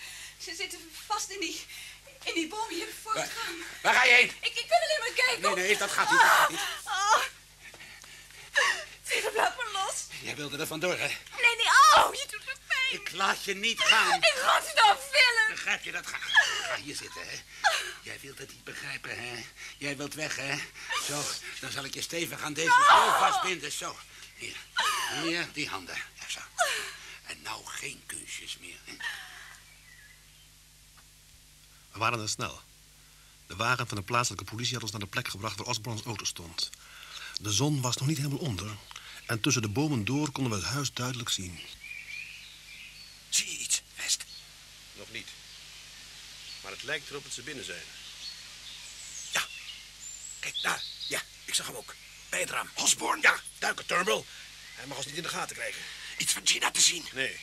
Nou, nou, wat gaan we doen? Ik zou zeggen, eh, laten we erop afgaan. Nee. Waarom niet? De link, Turnbull. Hij kan gewapend zijn. Hij was weer vlak bij het raam. Keek deze kant op. Luister, Jack. Jij gaat met die Surrey-jongens posten. Twee aan de voorkant en twee aan de achterkant. Ja, inspecteur. Ik loop recht op de voordeur af. Waarom jij? Laat mij dan gaan. Als Gina daar binnen is... Ik doe het, Turnbull. Neem jij de achterdeur. Vooruit, daar gaan we. Maar stil en probeer zoveel mogelijk uit zijn gezichtsveld te blijven. Waar kijk je naar? Waarom kijk je uit het raam? Ik dacht dat ik iets zag. Nee, nee, het is niks. Maakt trouwens geen enkel verschil of er iemand daar is. Philip, doe me. Maak me alsjeblieft los. Het, het touw zit zo strak. Niemand neemt jou van mij af, Gina. Philip, wat, wat moet jij met een revolver? Die gebruik ik, als ze er mij toe dwingen. Doe niet zo idioot. Doe, doe het weg. Je, je, je bent niet goed wijs, Philip. Je, je bent overspanning. Je, je hebt het te druk gehad met, met alle verkiezingen en alle andere zaken. Eh, verkiezingen, schoonheden. Schoonheden paraderen met, met, met hun prachtige lijven, alsof ze daar trots op moeten zijn. Ja hoor, ik heb de goede maten en ik ben secretaresse, maar zou zo graag model zijn. Mijn grootste ambitie is rond de wereld te reizen. Stupide leeghoven, kleine stom idioten. Ze verdienden wat er met hen gebeurd is. God, Philip. Eh, Maar, maar, maar jij niet, Gina. Jij bent te mooi. Veel te mooi om te sterven. hè? Dat zal jou niet gebeuren. Wat is dat? Er komt iemand. Osborne, ik ben het, Roger West. West, Kijk uit, hij is gewapend. kom dichter. Dat had jij niet moeten doen, Gina. Osborne, Je had hem niet moeten waarschuwen, Gina. Osborne, hoor je mij? Ja, ik hoor je. Verdwijn, West. Dat is beter voor je. Doe niet zo stom, Osborne. Gooi het wapen weg en kom weer naar buiten. Ik waarschuw je. Ga weg. Kom naar binnen, Osborne. Nog één stap. En ik maak eraf. Geef mij die revolver. Ik schiet, West. En, en als Gina dood is, ben jij de schuldige. Rustig, Osborne. Geef hier die revolver. Beweeg je niet, West. Ze gaat eruit. Dat dacht je maar. Au, vieze. Genoeg, Turnbull. Ik zei je... Ik zei er is genoeg. Blijf met je poten van me af, West. Je stelt je belachelijk, man. Wil je erop wegens doodslag? Maak Gina liever los. Ik wist niet wat, wat ik zag, Warren, toen je, toen je daar ineens in die achterdeur stond. Halbe, Inspecteur, alles oké. Zeg dat tegen iedereen. Kom met de wagen hierheen, dan kunnen we terug. ik zorg ervoor, inspecteur. Oké. Turnbull, jij helpt Miss Howard. En ik zorg voor Osborne. Wat krijgen we nou? Janet, ben jij nog op zo laat? Ik kon niet in slaap komen. Ik dacht, ik kan net zo goed op jou wachten. Hebben jullie Gina Howard gevonden? Ja, we hebben haar gevonden. En ze is gelukkig in orde. Fijn. Ik denk dat ik daardoor niet slapen kon. ik bleef maar aan dat denken, piekeren. En hopen dat je op tijd zou komen. Nou, eerlijk gezegd was ik daar zelf ook niet zo zeker van. Was ze met Osborne? Ja, Dus hem heb je. En eindelijk is de hele zaak rond. eh, ja, daar lijkt het wel op, ja. Ik dacht dat je wel blij zou zijn. Is niet naar je zin gegaan? Waar ik zin in heb, is een borrel. Hm? Het was maar een nachtje wel. Neem maar ook één. Dan zal ik het verhaal vertellen als je wilt. En tegen de tijd dat we Osborne op de yard hadden... gedroeg hij zich heel vreemd. Hij wilde absoluut niet meer spreken. Hij zat daar maar met zijn blik op oneindig. Ja, het had geen zin om hem te ondervragen. Hij reageerde totaal nergens op. Had het net zo goed niet kunnen zijn. Toen heb ik maar die oude Summerfield, onze politiearts, gebeld. Mhm. En wat was zijn conclusie? Hij dacht dat Osborne een geestelijke opdonder had gehad... en daarom beter door een psychiater onderzocht kon worden. Ja, daar zag het ook wel naar uit, zeg. Zoveel moorden. Dat moest wel iemand zijn die ontoerekeningsvatbaar is. Ja, dat zou je zo zeggen. Roger, is er nog iets? Iets wat je me niet verteld hebt? Nee, niks. Hoezo? Volgens mij ben jij niet tevreden met de afloop. Wie zegt dat? Ik? Hoe kom je daar dan bij? Nou, zeg, doe niet zo mal. Denk je nou echt dat ik na al die jaren niet weet hoe jij over iets denkt? Je hebt gelijk, natuurlijk. Het is Philip Osborne, hè? Wat zit je nou zo dwars? Waar ik het wist, lief. Misschien zit ik er verschrikkelijk naast, maar ik heb zo'n onbevredigend gevoel. Alleen maar instinctief. Ja. Nou, ik wacht. Ga door. Nou, Kijk, ik, ik geloof inderdaad dat deze moorden het werk van een gestoorde zijn. Dat is meestal zo. Maar ik twijfel toch of Osborne zo gestoord is. Dat is alles. Waarom? Hij is geestelijk niet in orde, zei de dokter. Jawel, jawel, jawel. Ik, nou ja, ik ben geen psychiater, maar ik geloof toch niet dat wat er vannacht gebeurd is... louter en alleen, alleen om, om het ene meisje draaide. Gina, en wat hij voor haar voelde. Ja, dat, dat heeft hem doorgedraaid. En hoe vreemd het ook klinkt, ik, ik geloof dat hij haar wilde beschermen. Hij wilde voorkomen dat ze vermoord zou worden. Ja, maar hij heeft haar bedreigd. Denk je dan dat hij dat niet meende? Denk je soms dat hij de dader helemaal niet is? Inderdaad. Ik kan niet geloven dat Osborne de man is die wij zoeken. Als je het mij vraagt, Janet, loopt de echte moordenaar nog vrij rond.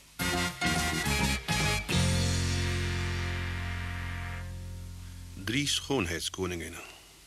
Daar moest ik de volgende dag op de yard steeds aan denken... tijdens al het routinewerk van rapporten en de hele papierwinkel die erbij hoort. Gina Howard, Norma Deering, Barbara Calworthy. Drie slachtoffers in spe. Ja, laat maar, ik neem hem, Tarmo. Met West. Ah, Dr. Summerfield. Wat? Ja, ga door. Ik luister. Ah. Ja. ja, ik begrijp het. En dat is zoals de zaken nu voorstaan. Zo. Ja, nou, dank u. Ja, dank u zeer. Tot ziens. Dr. Summerfield? Hoe rijdt het zo? Ja, met de laatste berichten van Osborne. En? Nou, die psychiater heeft net zo weinig bereikt als wij. Zo. Osborne kan zich totaal niets meer herinneren van wat er zich heeft afgespeeld. Ach, niks meer, hè? Nou, voor mij zit het de zaak te belazen. Ah, nee, dat betwijfel ik. Je moet van heel goede huizen komen als je zo'n specialist wil beetnemen. Dacht je dat? Osborne heeft, en vergeet dat niet, voor hij in de reclamewereld kwam, toneel gespeeld. En ik geloof dat dat baasje uitstekende en overtuigende scène kan spelen. Ja, Turnbull. Ja. Ja, die is hier. Ogenblikje. Eh, Dickerson, voor jou. Hm. Ah, meneer Dickerson, wat kan ik voor u doen? Hm. Ja, natuurlijk. Nee, nee, nee, nee, hoor, dat hoeft niet. Ik kom al naar uw kantoor. Over een half uurtje? Vanavond? Goed, tot zo.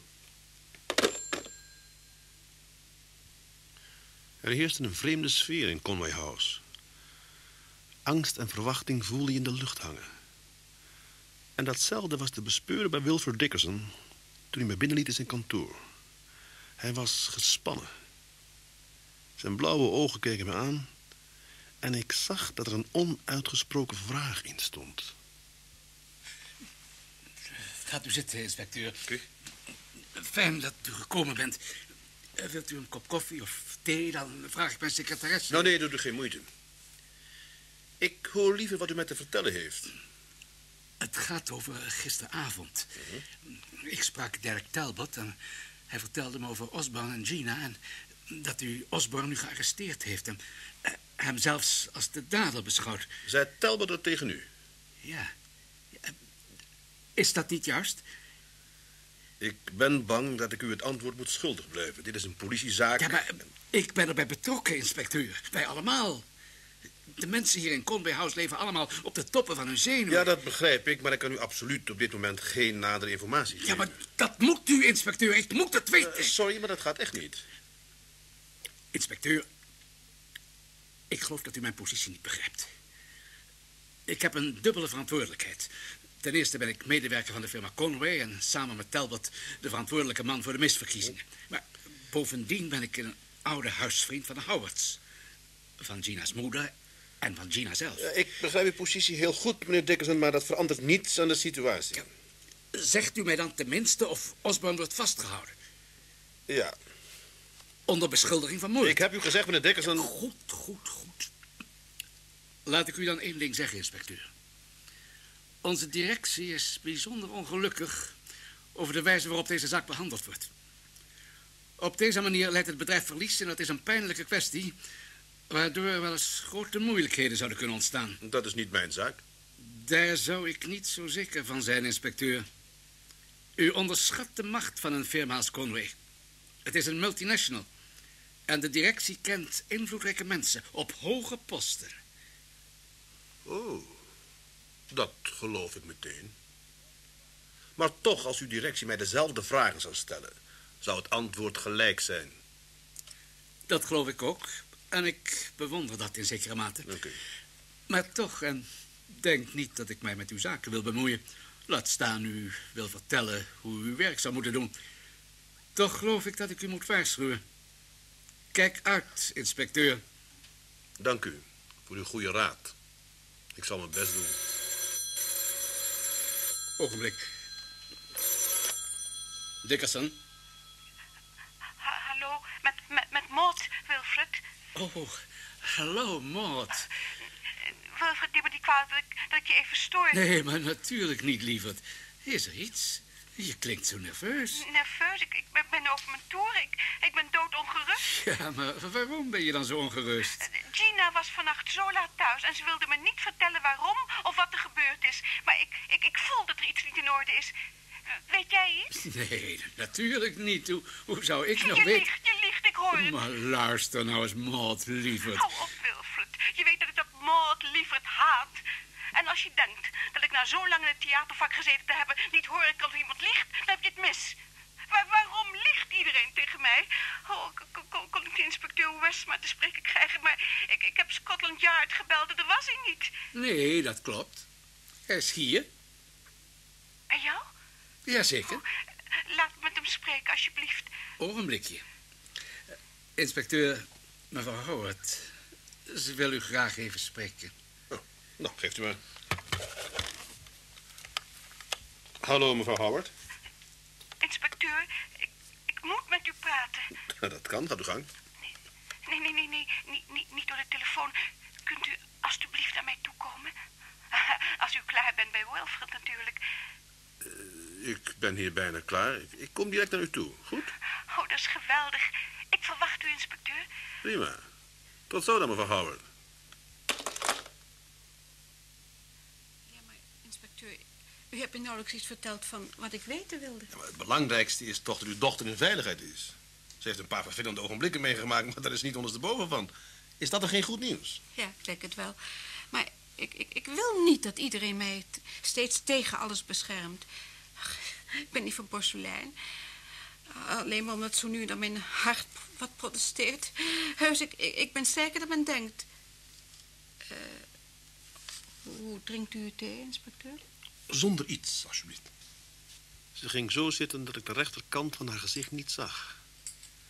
Aan haar linkerprofiel kon je duidelijk zien dat ze zo'n 25 jaar geleden... als de actrice Maud Sefton niet voor niets beroemd was... als een van de grootste schoonheden van West End. Alsjeblieft. Dank u. Neemt u... eh, inspecteur West. Mhm. U kijkt zo naar me. Ja, inderdaad. Doet u dat niet, alsjeblieft? Op één voorwaarde. En welke dan wel? Dat u zo gaat zitten dat ik u goed kan zien. Oh, nee, nee, nee. Nee, dat, dat doe ik niet. Waarom niet? Omdat ik er te ijdel voor ben. Dat, dat heb ik wel eens gezegd. Weet u dat niet meer? Ja, dat weet ik nog. Maar ik geloof het niet. De ervaring heeft mij geleerd dat mensen die dat soort dingen bekennen... het meestal niet zijn. Maar dan ben ik de uitzondering die de regel bevestigt. Weet u dat ik nooit buiten deze flat kom zonder hoed en voile? Ach, ik kleed me liever ouderwets dan dat iemand dit ziet. Maar mij kan niet schelen. En uw dochter zal er zich toch ook niks van aantrekken, denk ik? Ja, maar Gina, dat, dat, dat, dat ligt heel anders. En met Wilfred Dickerson? Ach, hij is een oude vriend, dat is ook anders natuurlijk. Is hij alleen maar een oude vriend? Niet meer? Dat is nogal een persoonlijke vraag, inspecteur. Zeker.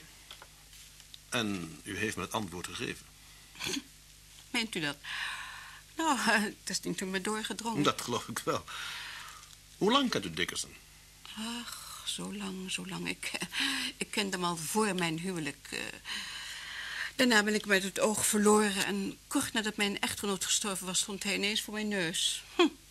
Arme Wilfred. Arme Wilfred, waarom? Ach, het leven is hard voor hem geweest, inspecteur. Hoezo? Tegenslagen?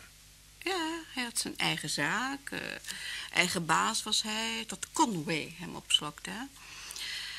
Dat is een klap voor hem geweest, daar spreekt hij er nooit over. Hij praat eigenlijk nooit over al die dingen.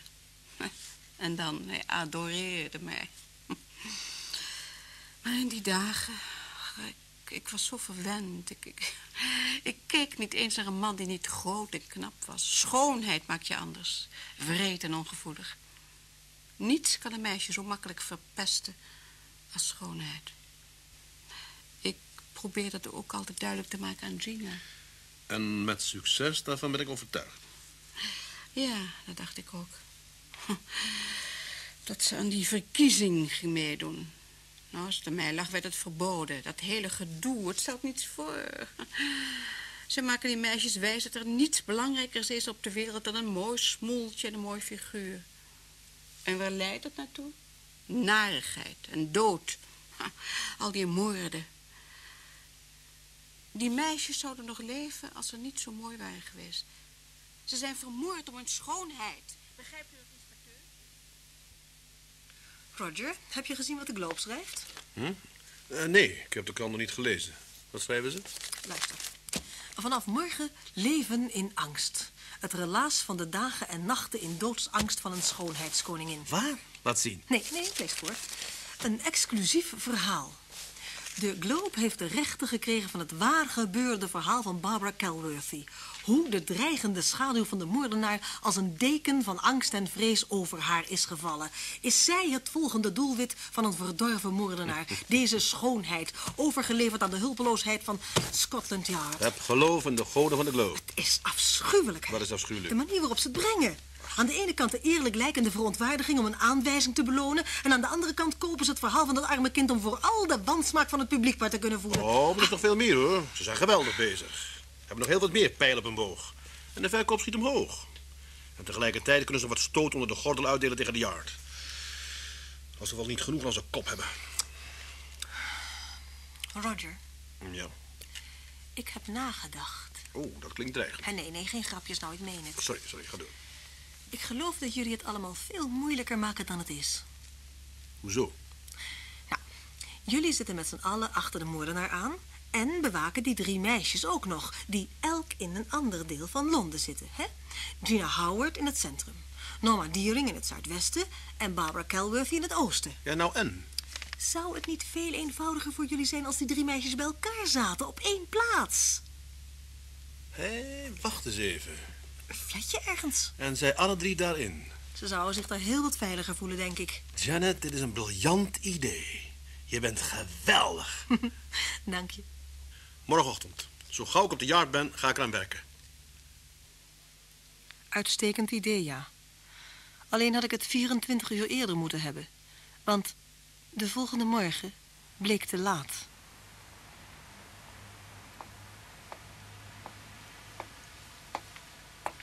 Om ongeveer één uur s'nachts stak een politieagent in Londen-Oost... een van de twee die de achterkant van Barbara Calworthy's huis bewaakte... een sigaret op. Ah, steek er ook weer leeg. Wat? Wat is dat nou? Jezus.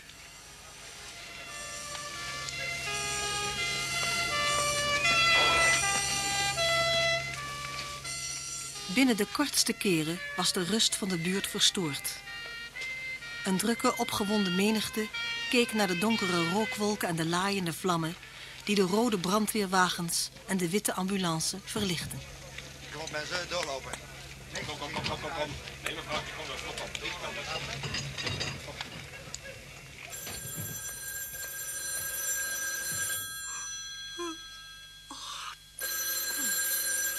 Telefoon.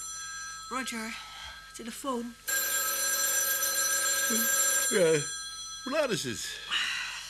Doe het licht aan. Oh, het is bij vieren. Allemachtig. Nog zo vroeg. Hallo, met West. Wat? Ja, ga door. Nee, wacht even, ik wil wat opschrijven. Janet, geef even die bloknoot daar, die pen. Ja, Alsjeblieft, schat. nou, oké, laat horen. Maar rustig, ik schrijf het op. Ja? Waar heb ik, ja? Barbara en de tante Enid zijn eruit gehaald, lief. Maar het is op het nippertje geweest. Er is veel rookontwikkeling. Twee brandweermensen zijn onwel geworden, maar het is allemaal gelukt. En eh, hoe gaat het nou met het meisje en haar tante? Goed? Helemaal niet. Ze zijn alle twee naar het ziekenhuis gebracht. En het ziet er naar uit dat Barbara Calworthy het geld van de krant voor haar verhaal nooit zal kunnen uitgeven. Haar toestand is kritiek. God. En van een ongeluk is geen sprake, dat hebben ze nu al ontdekt. Het vuur was aangestoken. Door de moordenaar. Dat ziet er wel naar uit. Ja, maar hoe kan dat nou, Roger? Het huis werd aan beide kanten bewaakt. Ja, voor onze moordenaar heeft een lek in onze bewaking gevonden, kennelijk. Dat begrijp ik niet. Ik heb het allemaal opgeschreven. Barbara is met haar vriendje naar de bioscoop gegaan. Eén van onze mannen is hen gevolgd. De tante heeft het huis een tijdje later verlaten, zei dat ze even naar het buurtcafé ging. Volgens de agent kwam ze vlak na sluitingstijd weer thuis. Niet helemaal fris en een beetje slap op haar benen. Ja, maar dat zegt toch allemaal niks over de Ja, moordenaar? wacht nou even, ik ben er nog niet. Toen tante thuis kwam, had ze iemand bij zich. En ze zei dat ze elkaar in het café ontmoet hadden...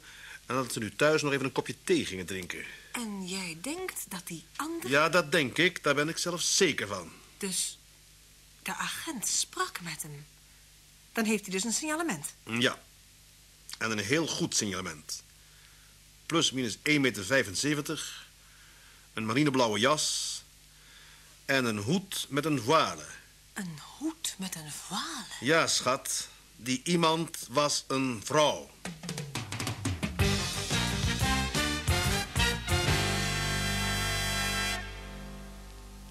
Dit was het zesde deel van Attentie voor Roger West.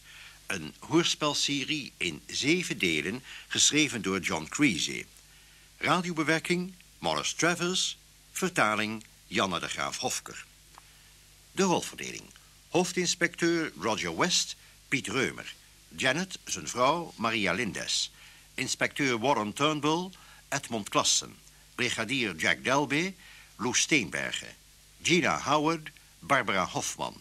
Maud Howard, haar moeder, Feestia Rone. Philip Osborne, Pieter Lutz. En Wilfred Dickerson, Robert Sobels.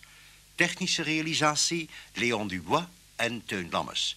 Regie, Hero Muller. Oproep voor hoofdinspecteur West. Attentie voor hoofdinspecteur West.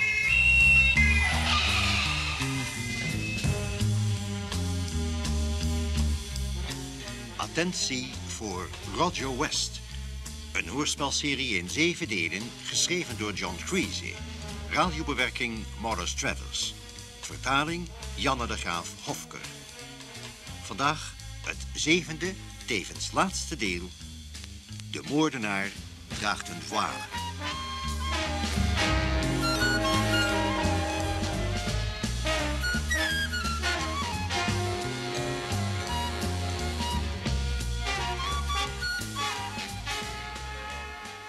De telefoon had ons gewekt om vier uur s morgens met slecht nieuws. Slechter kon het bijna niet. Weer een slachtoffer. De vijfde in de rij van schoonheidskoninginnen, Barbara Kelworthy, de winnares van Oost-Londen, en haar tante bij wie ze woonde, lagen zwaar gewond in het ziekenhuis. Verbrand. Maar er was hoop. Een mogelijkheid om meer over de identiteit van de moordenaar te weten te komen. Een vrouw? Ben je daar zeker van, Roger? Absoluut, sir. Kort gezegd komt het hierop neer. Barbara's tante ging even naar het buurtcafé. Ontmoet daar een vrouw en neemt die mee naar huis. Zegt tegen de agent dat het een kennis van haar is en gaat er binnen. Een paar uur daarna breekt de brand uit. En niet per ongeluk? Zeker niet. De brandweer weet dat pertinent. Hoe is het met die twee vrouwen? Hetzelfde. Ik was in het ziekenhuis. Ze zijn allebei levensgevaarlijk gewond.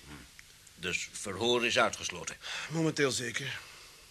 En die kennis was de enige die in en uit het huis ging, behalve de twee dames Kelworthy. Inderdaad. De agent van dienst weet dat absoluut zeker. Hij gaf een beschrijving, mag ik aannemen? Dat staat er precies in mijn aantekeningen, sir. Oh, laat eens zien.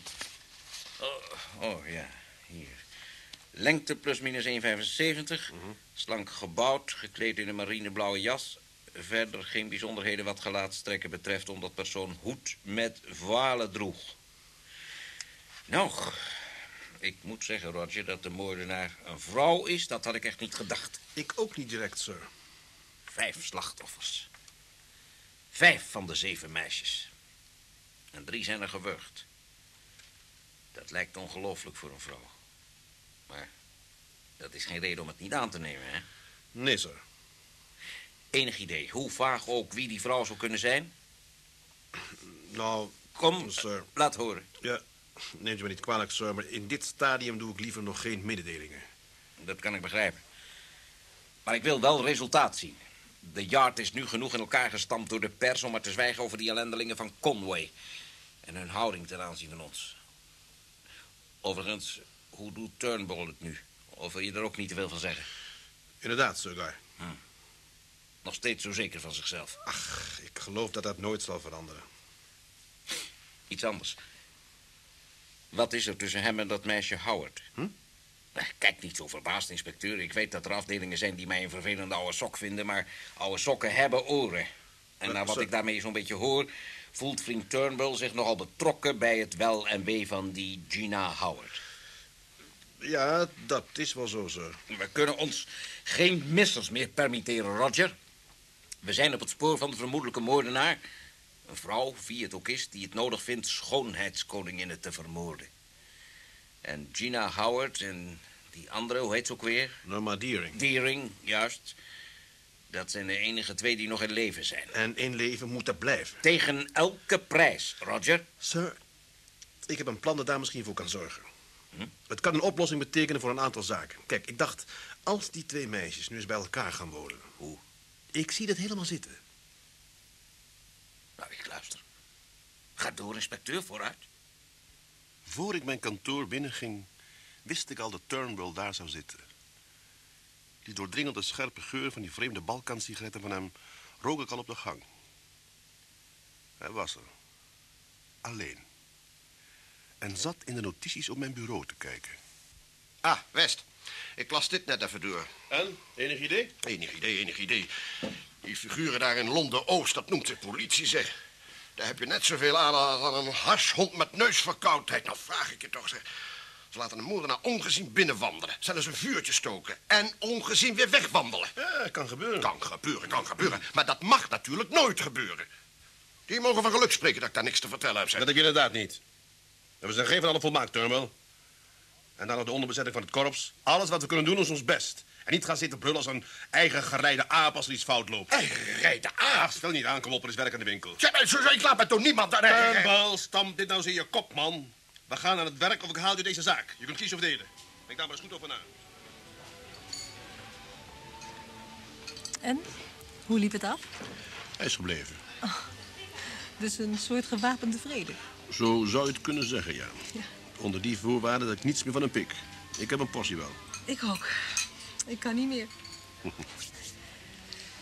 nou, en vertel me nou eens waarom wij ineens zo gezellig moesten lunchen. Wil je me iets zeggen? Ja, inderdaad, lief. Aha. Janet, hoe zou jij het vinden om chaperone te zijn van twee schoonheidskoninginnen? Ik? Het was jouw idee. En Chatworth geeft me carte blanche. Ik heb al een appartement gevonden. Putney Heath, ten zuiden van de rivier. Ja, maar Roger... Ik heb afgesproken met Gina Howard en Norma Deering vanmiddag. Ze willen er zo intrekken. En je wil dat, dat ik mee intrek. Zo is het. Maar waarom? Ik wil er geen vrouwelijke agent bij hebben. Begrijp je? Ik ga al een beetje over de streep bij dit plan. Maar ik wil er toch iemand bij hebben die het politiewerk een beetje kent. Daarom. Ik leg het je wel uit als we alles geregeld hebben. Ja, Roger... Ik sta in voor je volledige veiligheidsschat. We zijn overal rond het gebouw, dag en nacht. Ja, maar thuis dan? De jongens? Daar vinden we wel wat op. Ik kan het mevrouw James vragen, verderop in de straat. De jongens komen daar zo vaak, het lijkt wel een tweede huis. Oké. Doe je het lief? Natuurlijk. Je bent geweldig. Denk je dat het voor lang is? Dat weet ik niet zeker natuurlijk. Maar als alles wat ik in mijn hoofd heb klopt... Hmm, dan zal het wel meevallen. Ik zou wel eens willen weten wat er allemaal in dat kopje van jou omgaat.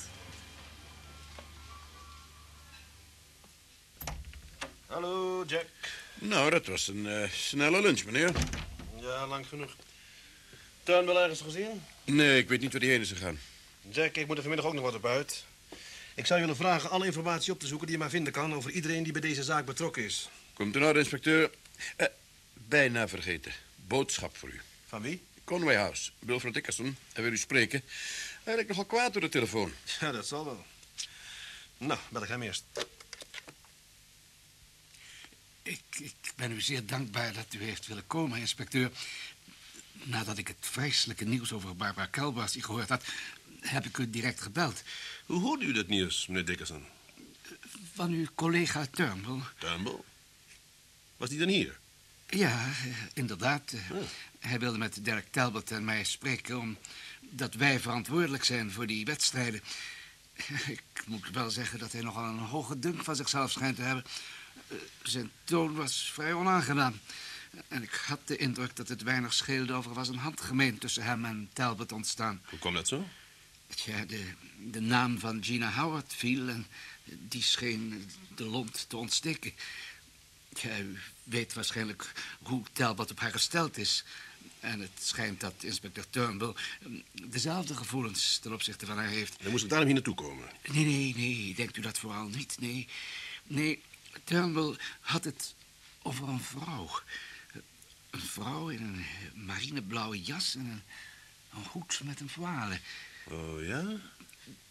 Betekent dat, inspecteur, eh, dat u een bepaald iemand verdenkt? Hoezo? Waarom denkt u dat? Had u iemand op het oog? Nee, nee, nee. Ja, mocht het wel zo zijn, dan wil ik erop wijzen dat u dan verplicht bent mij dat te zeggen. Er valt niets te zeggen, inspecteur. Weet u dat zeker? Gina moet weg, inspecteur. Naar een veilige plaats. Veiliger dan waar ze nu is. Het lijkt mij verstandig als mij vertelt waarom u dat wilt. Ja, ik, ik zei het al. Ik, ik heb niets uit te leggen. Gina en haar moeder, het, het zijn oude vrienden, inspecteur. Ik, ik voel me bij hen betrokken, bij, bij allebei. Ja, dat is het. Ik, ik heb geen verdere verklaringen. Er valt voor mij niets meer te zeggen. Daar liet ik het maar bij. Dickerson probeerde mij op zijn voorzichtige en wat angstige manier iets te vertellen... wat bij mezelf ook al was opgekomen. Die ene vrouw die misverkiezingen haatte... die nooit de straat opging zonder hoed met voile om haar gezicht te verbergen. De vroegere schoonheid en actrice Maud Sefton. De moeder van Gina Howard. Dat is het dan zo ongeveer, Gina. Ik denk zo alles te kunnen overzien. Ik begrijp het, inspecteur. Jij mag het dan begrijpen, Gina. Maar ik weet het toch niet zo zeker. Ach, doe nou, moeder. Inspecteur, als ik u begrijp, dan wilt u Gina en Norma Deering naar een appartement brengen... en wel zo dat alleen de politie weet waar ze zijn? Ja, daar komt het op neer. Ja, maar, maar ik mag het adres toch wel weten. Ik ben bang voor niet, mevrouw. Moeder, het is- inspecteur West heeft het allemaal uitgebreid verteld. Heb je dan niet geluisterd? Natuurlijk heb ik geluisterd. Inspecteur, dit, dit is werkelijk absurd. Staat u mij nu werkelijk te vertellen dat ik niet weten mag waar u mijn dochter heen brengt? Hoe minder mensen het weten, hoe beter, mevrouw. Oh, ik, ik weiger aan deze nonsens mee te doen. Alles wat ik wil, mevrouw, is ervoor zorgen dat de twee meisjes... die op de meest afschuwelijke manier bedreigd worden... zo goed mogelijk te beschermen. Maar is het echt onmogelijk om voor moeder een uitzondering te maken, inspecteur? Sorry. Maar ze is het hartpatiënte. Ik, ik Maar is ben er zo geen bang. kennis die bij haar kan blijven? Een of andere vriendin, of... Oh, natuurlijk. Moeder, Eileen Willoughby. Zij zou het helemaal niet erg Ja, vinden ja, om... ja, dank je, dank je, Gina. Ik zie dat jij het met de hoofdinspecteur eens bent. Moeder, het is voor ons bestwil. Ik zal Eileen wel Nee, vragen. nee, nee, dat hoeft helemaal niet, Gina. Het zal wel gaan. Ik moet me erbij neerleggen, inspecteur. Dank u. Zo gauw ik alles geregeld heb, laat ik weten hoe wij het gaan doen en wanneer. Ja, u moet me nu excuseren, ik moet er vandoor. Er is nog veel te doen vanmiddag.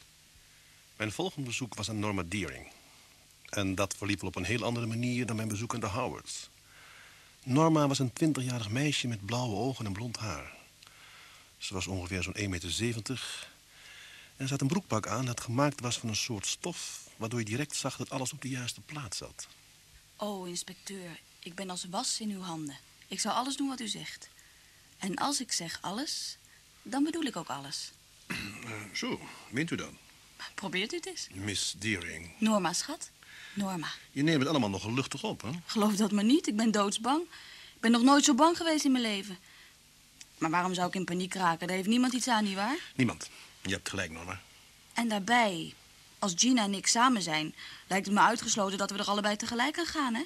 Hm, Eigenlijk een mal idee ergens heen te gaan zonder te weten waarheen.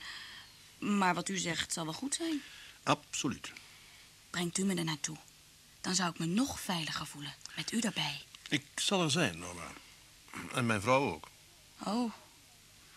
Nou ja, zo is het leven nou eenmaal niet. De aardigsten zijn altijd getrouwd. Dat heb ik nou altijd.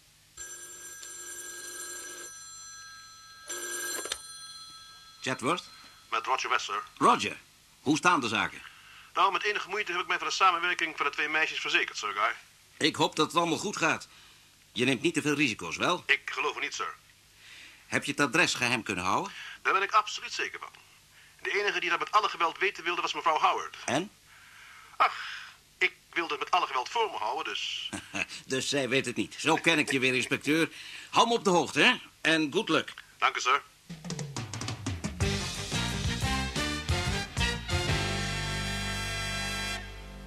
Roger, ben jij daar? Ja. Ah, hallo, liefje. Heb je gegeten? Nou, en met weemoed gedacht aan de maaltijd die jij me altijd voorzet. Daar kan een broodjezak niet tegenop. Nou, ik ben bang dat eh, mijn diner vandaag ook niet zo bevallen zou zijn. Oh, waarom niet? Ik had niet de rust om te gaan koken vandaag. Eerlijk gezegd, gokte ik er een beetje op dat je, dat je niet zou komen eten. Zo, dat staat je netjes. Zeg, waar zijn de jongens? Ja, wat dacht je? Bij mevrouw James natuurlijk. Ah, natuurlijk, ja. Vanaf het moment dat ik ze heel voorzichtig probeerde voor te bereiden op een logeerpartij, waren ze niet meer te houden. ik heb er net gedaan of wij met z'n tweetjes er een paar dagen tussenuit wilden. Ja, en ik schaamde me echt toen ik zag hoe ze het ermee eens waren. Ah, leugentje een best wil. Ja, ja, ja, dat zeg jij, maar ik moest het zeggen.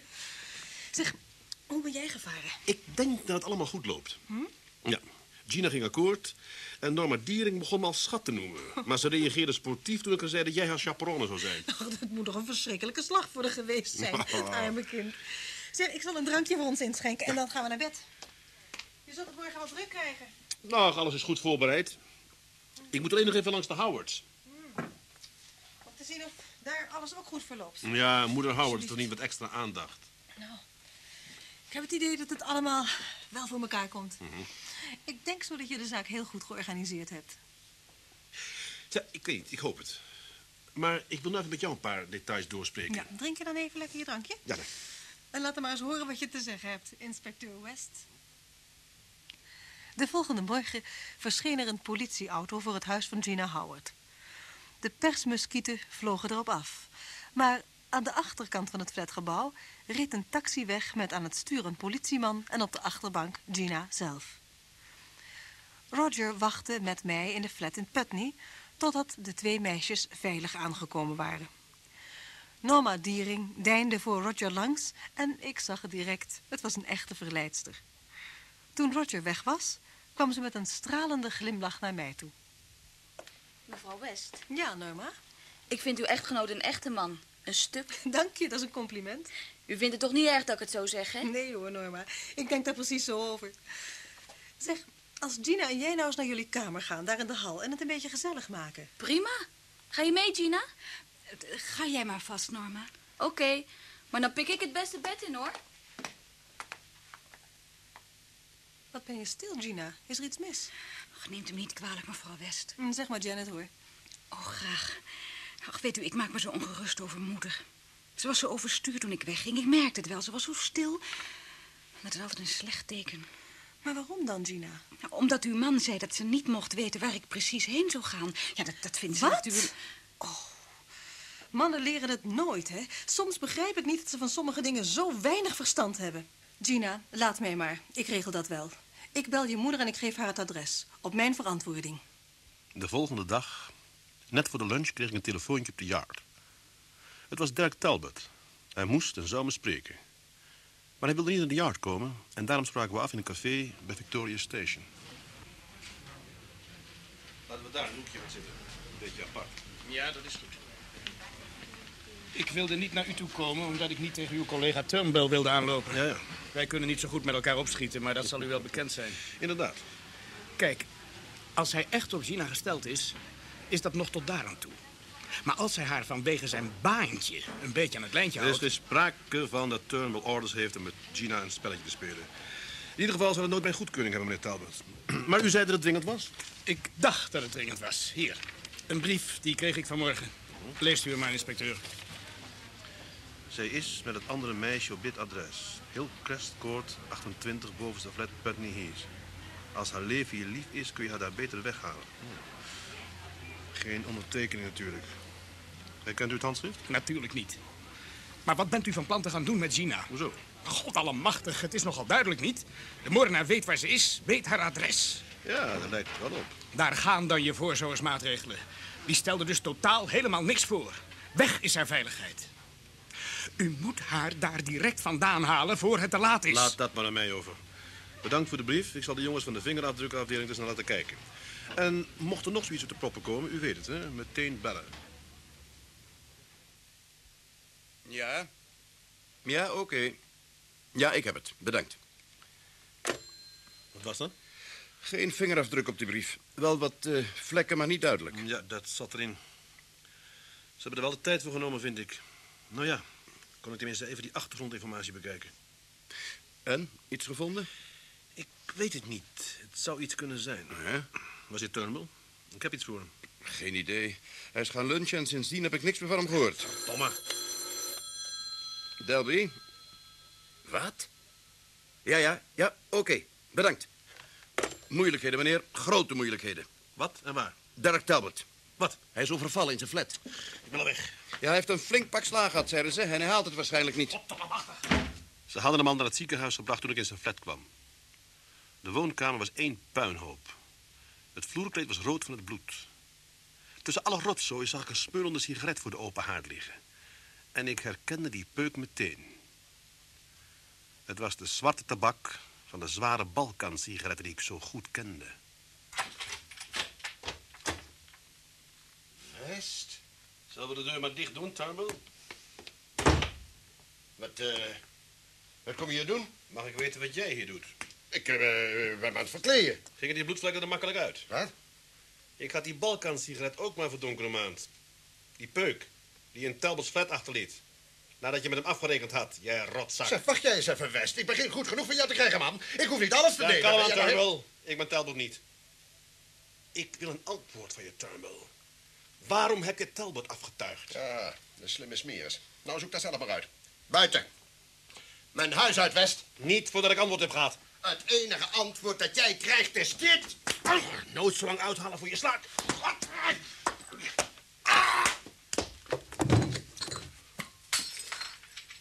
Je bent een stomme idioot, Turnbull.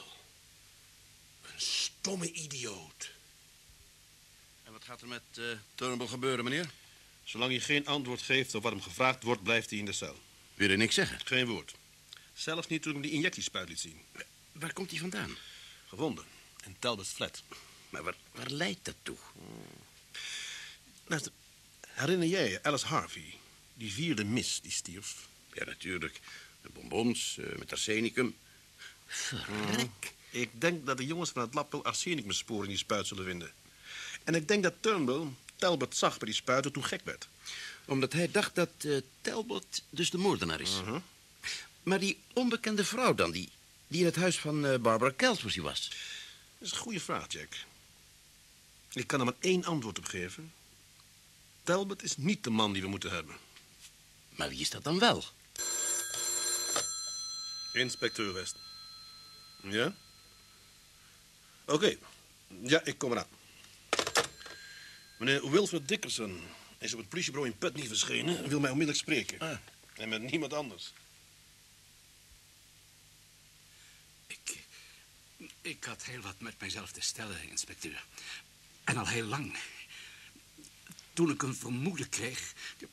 eh, Gisteren heb ik u al een, een aanwijzing gegeven in die richting, maar... Ik, ik kon het niet zeggen. Ik... Wat kon u niet zeggen? U bent niet erg duidelijk. Nou, goed dan. Maud Howard. Zij is het. Zij is degene die u zoekt. Ja, ik, ik wilde het eerst ook niet geloven, maar... Maar nu... Ja, begrijpt u het niet? hè? Haar gezicht. Ze was een, een schoonheid vroeger. Maar sinds ze die beroerte kreeg... haat ze elke mooie vrouw. Gaat u door. Ja, het is een afwerking. Na elke moord is het erger geworden. En ik geloof dat ze nu zelfs Gina, haar, haar eigen kind... Eh, Ze weet het adres. Ik hoorde het van haar. Hillcrest Court.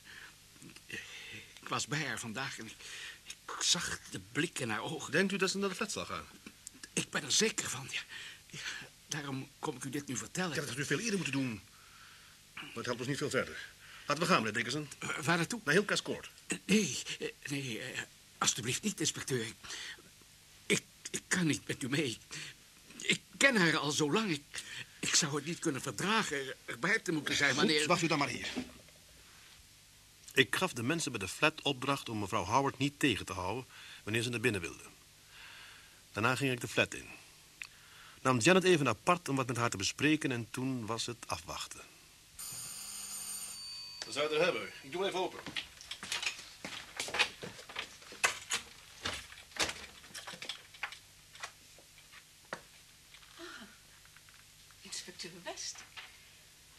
Ik verwacht u hier niet. Ik was hier toevallig om mijn vrouw te bezoeken. Oh, ik, ik hoop niet dat u boos op haar bent om, omdat zij mij het adres heeft gegeven. Gebeurd is gebeurd. Komt u binnen, mevrouw Howard.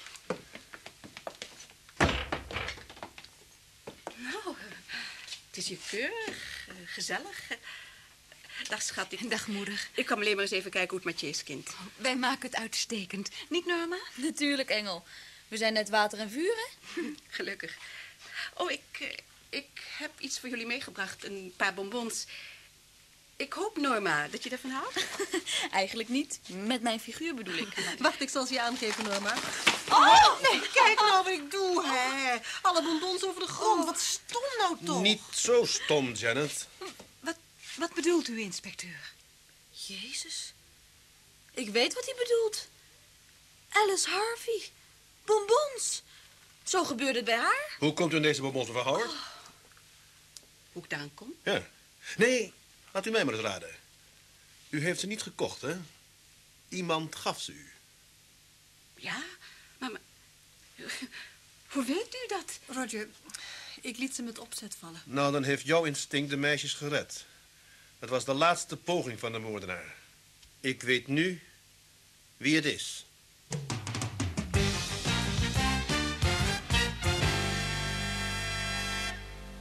En, meneer Wilfred Dickerson, wat zegt u erop? Maar, maar die, die hele beschuldiging is, is volmaakt onzinnig. Kom nou toch, Dickerson. U bent in de val gelopen. Alles was opgezet om de moordenaar te misleiden. Daarom heeft mijn vrouw zogenaamd op eigen houtje het adres verklapt aan mevrouw Howard. En dat heeft ons uiteindelijk naar u geleid. Ja, u gaf die bonbons aan mevrouw Howard om in één klap van alles af te zijn. De twee meisjes vermoord en mevrouw Howard de schuld van hun dood. Omdat zij de vergiftigde bonbons meebracht. Ik heb nog nooit zulke waanzin gehoord. Waanzinnige moet toch komen? Die dame die kennis maakte met de tante van Barbara Calversey... en met haar naar huis ging. Die dame met haar hoed en voile. Was dat een medeplichtige? Nee, oh nee, het is veel aardiger. Die dame was een heer. Onze Wilfred. Belachelijk. Nou, dat lijkt mij niet. Brigadier Dalby heeft uw huis doorzocht en het hele zaakje gevonden. Blauwe jas, hoedje en voile. Alles. Zo. Wat zeggen we daarop, Dickerson? Dat was een listige streek, hè? En een van de smerigste die ik ooit gezien heb. Beschuldigen naar iemand wijzen die je vertrouwt, achter haar rug. Een vrouw waar je zogenaamd zoveel zorgen om maakte. Maar wat voor motief had hij om dat te doen, Rob? Ja, dat motief. Dat deed ons ook bijna de das om. Wij zochten in de kringen van de ons bekende figuren die psychische afwijkingen hadden. Mensen die mooie meisjes haten. Maar hij haatte helemaal geen mooie meisjes. Nee, hij haatte Conway. Niet waar, Dickerson? De firma waar je voor werkte. Jij, jij... Raak, hè? Toen ik in de berg achtergrondinformatie was gedoken van iedereen die bij deze zaak betrokken was, ontdekte ik het ontbrekende stukje van de puzzel. Het begon al heel, heel lang geleden. Dus als ik het wel heb, had Dickerson een eigen bedrijf. Tot Conway het overnam. Uh, uh, opvlokt is sterker uitgedrukt. Mhm, dus hij ging werken voor Conway, maar hij heeft dat toch nooit goed kunnen verkroppen. Mhm. En de misverkiezingen gaven hem ineens de kans om terug te slaan. Ja, zo is het. De verkoopcijfers daalden schrikbarend door die moorden... en de directeur van Conway deed niets anders dan driftig bellen met Sir Guy Chatworth. Ongelooflijk. Hij maakte die arme kinderen stuk voor stuk af. Ja, en vergeet Harold Milsom niet. Ja, ook dat nog. En dat allemaal met als enig doel die firma te ruïneren. In een hopeloze en uitzichtloze poging om zijn eigen firma zodoende weer terug te krijgen. Tja. Ja, maar dat was toch een niet te onderschatten kereltje, hoor, onze Dickerson. Nee, nou, die geschiedenis met Turnbull Ja, daar ben ik nou nog steeds niet helemaal achter. Hoe, hoe zat dat nou precies? Eigenlijk heel eenvoudig. Kijk, hij wist in Derek Talbot's flat te komen om daar die injectiespuit neer te leggen. Met als doel ons op het dwaalspoor te brengen. En terwijl hij daar was, dook ineens Turnbull op. Ja, maar wacht dan eens. Hij had zich dus in die flat verstopt. Ja, precies. Nou ja, domweg geluk dat Talbot ook net kwam. Turnbull binnenliet en toen zag Turnbull die injectiespuit liggen. Er kwam een geweldige ruzie en Turnbull gaf Talbot een onbeheerste klap... die goed aankwam en Talbot uitschakelde. En toen Turnbull daarop wegliep, kwam Dickerson tevoorschijn... en sloeg de bewusteloze Talbot nog eens een keer flink in elkaar. Mijn god. Zou Talbot het overleven? De, volgens de doktoren wel, ja. Ze hebben hem net op tijd kunnen opereren. Maar, maar waarom zei Turnbull dan niks toen jij hem aanpakte? Dat is voor mij ook nog een vraag, Janet. Eh, trots, geraakt in zijn ego. Je weet wat voor een vreemde vogel het is. Ja. Nou zit hij met de beschuldiging in zijn zak dat hij een superieur heeft aangevallen. En ik weet niet hoe het afloopt. Maar op de dag dat wij Dickerson arresteerden, kreeg ik dit briefje. Hier, lees maar. West zaten ernaast. Motief Dickerson haat Conways. Dat is een beter motief dan we hadden, nietwaar? Warren Turnbull. Ja. Hoe dan ook, onuitstaanbaar of niet, hij heeft een goed stel hersens. Hij was op het goede spoor. Al lag hij nog wel een stukje achter bij mij. En wie stond er de volgende dag op onze stoep? Onze eigen Warren Turnbull. Hij wilde Roger spreken. Hij kwam binnen en ik liet hen alleen.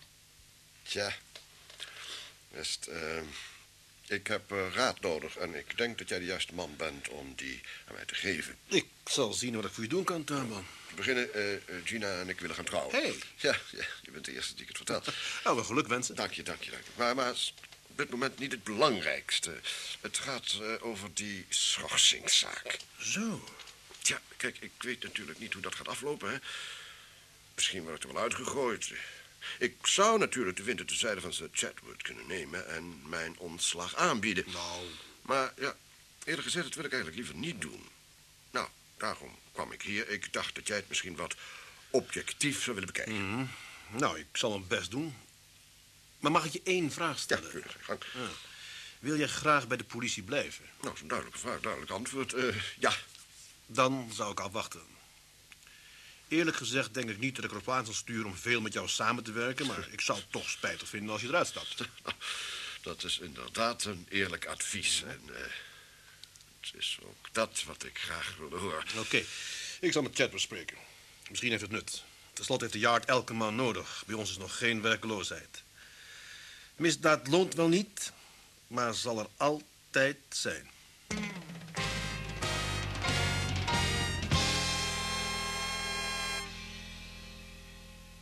U luisterde naar het zevende, tevens laatste deel van Attentie voor Roger West. Een hoorspelserie in zeven delen, geschreven door John Creasy. De radiobewerking was van Morris Travers. Vertaling Janne de Graaf Hofker. De rolverdeling. Hoofdinspecteur Roger West werd gespeeld door Piet Reumer. Janet, zijn vrouw, Maria Lindes. Inspecteur Warren Turnbull, Edmond Klassen. Brigadier Jack Delby, Lou Steenbergen. Sir Guy Chatworth, Jaap Marleveld.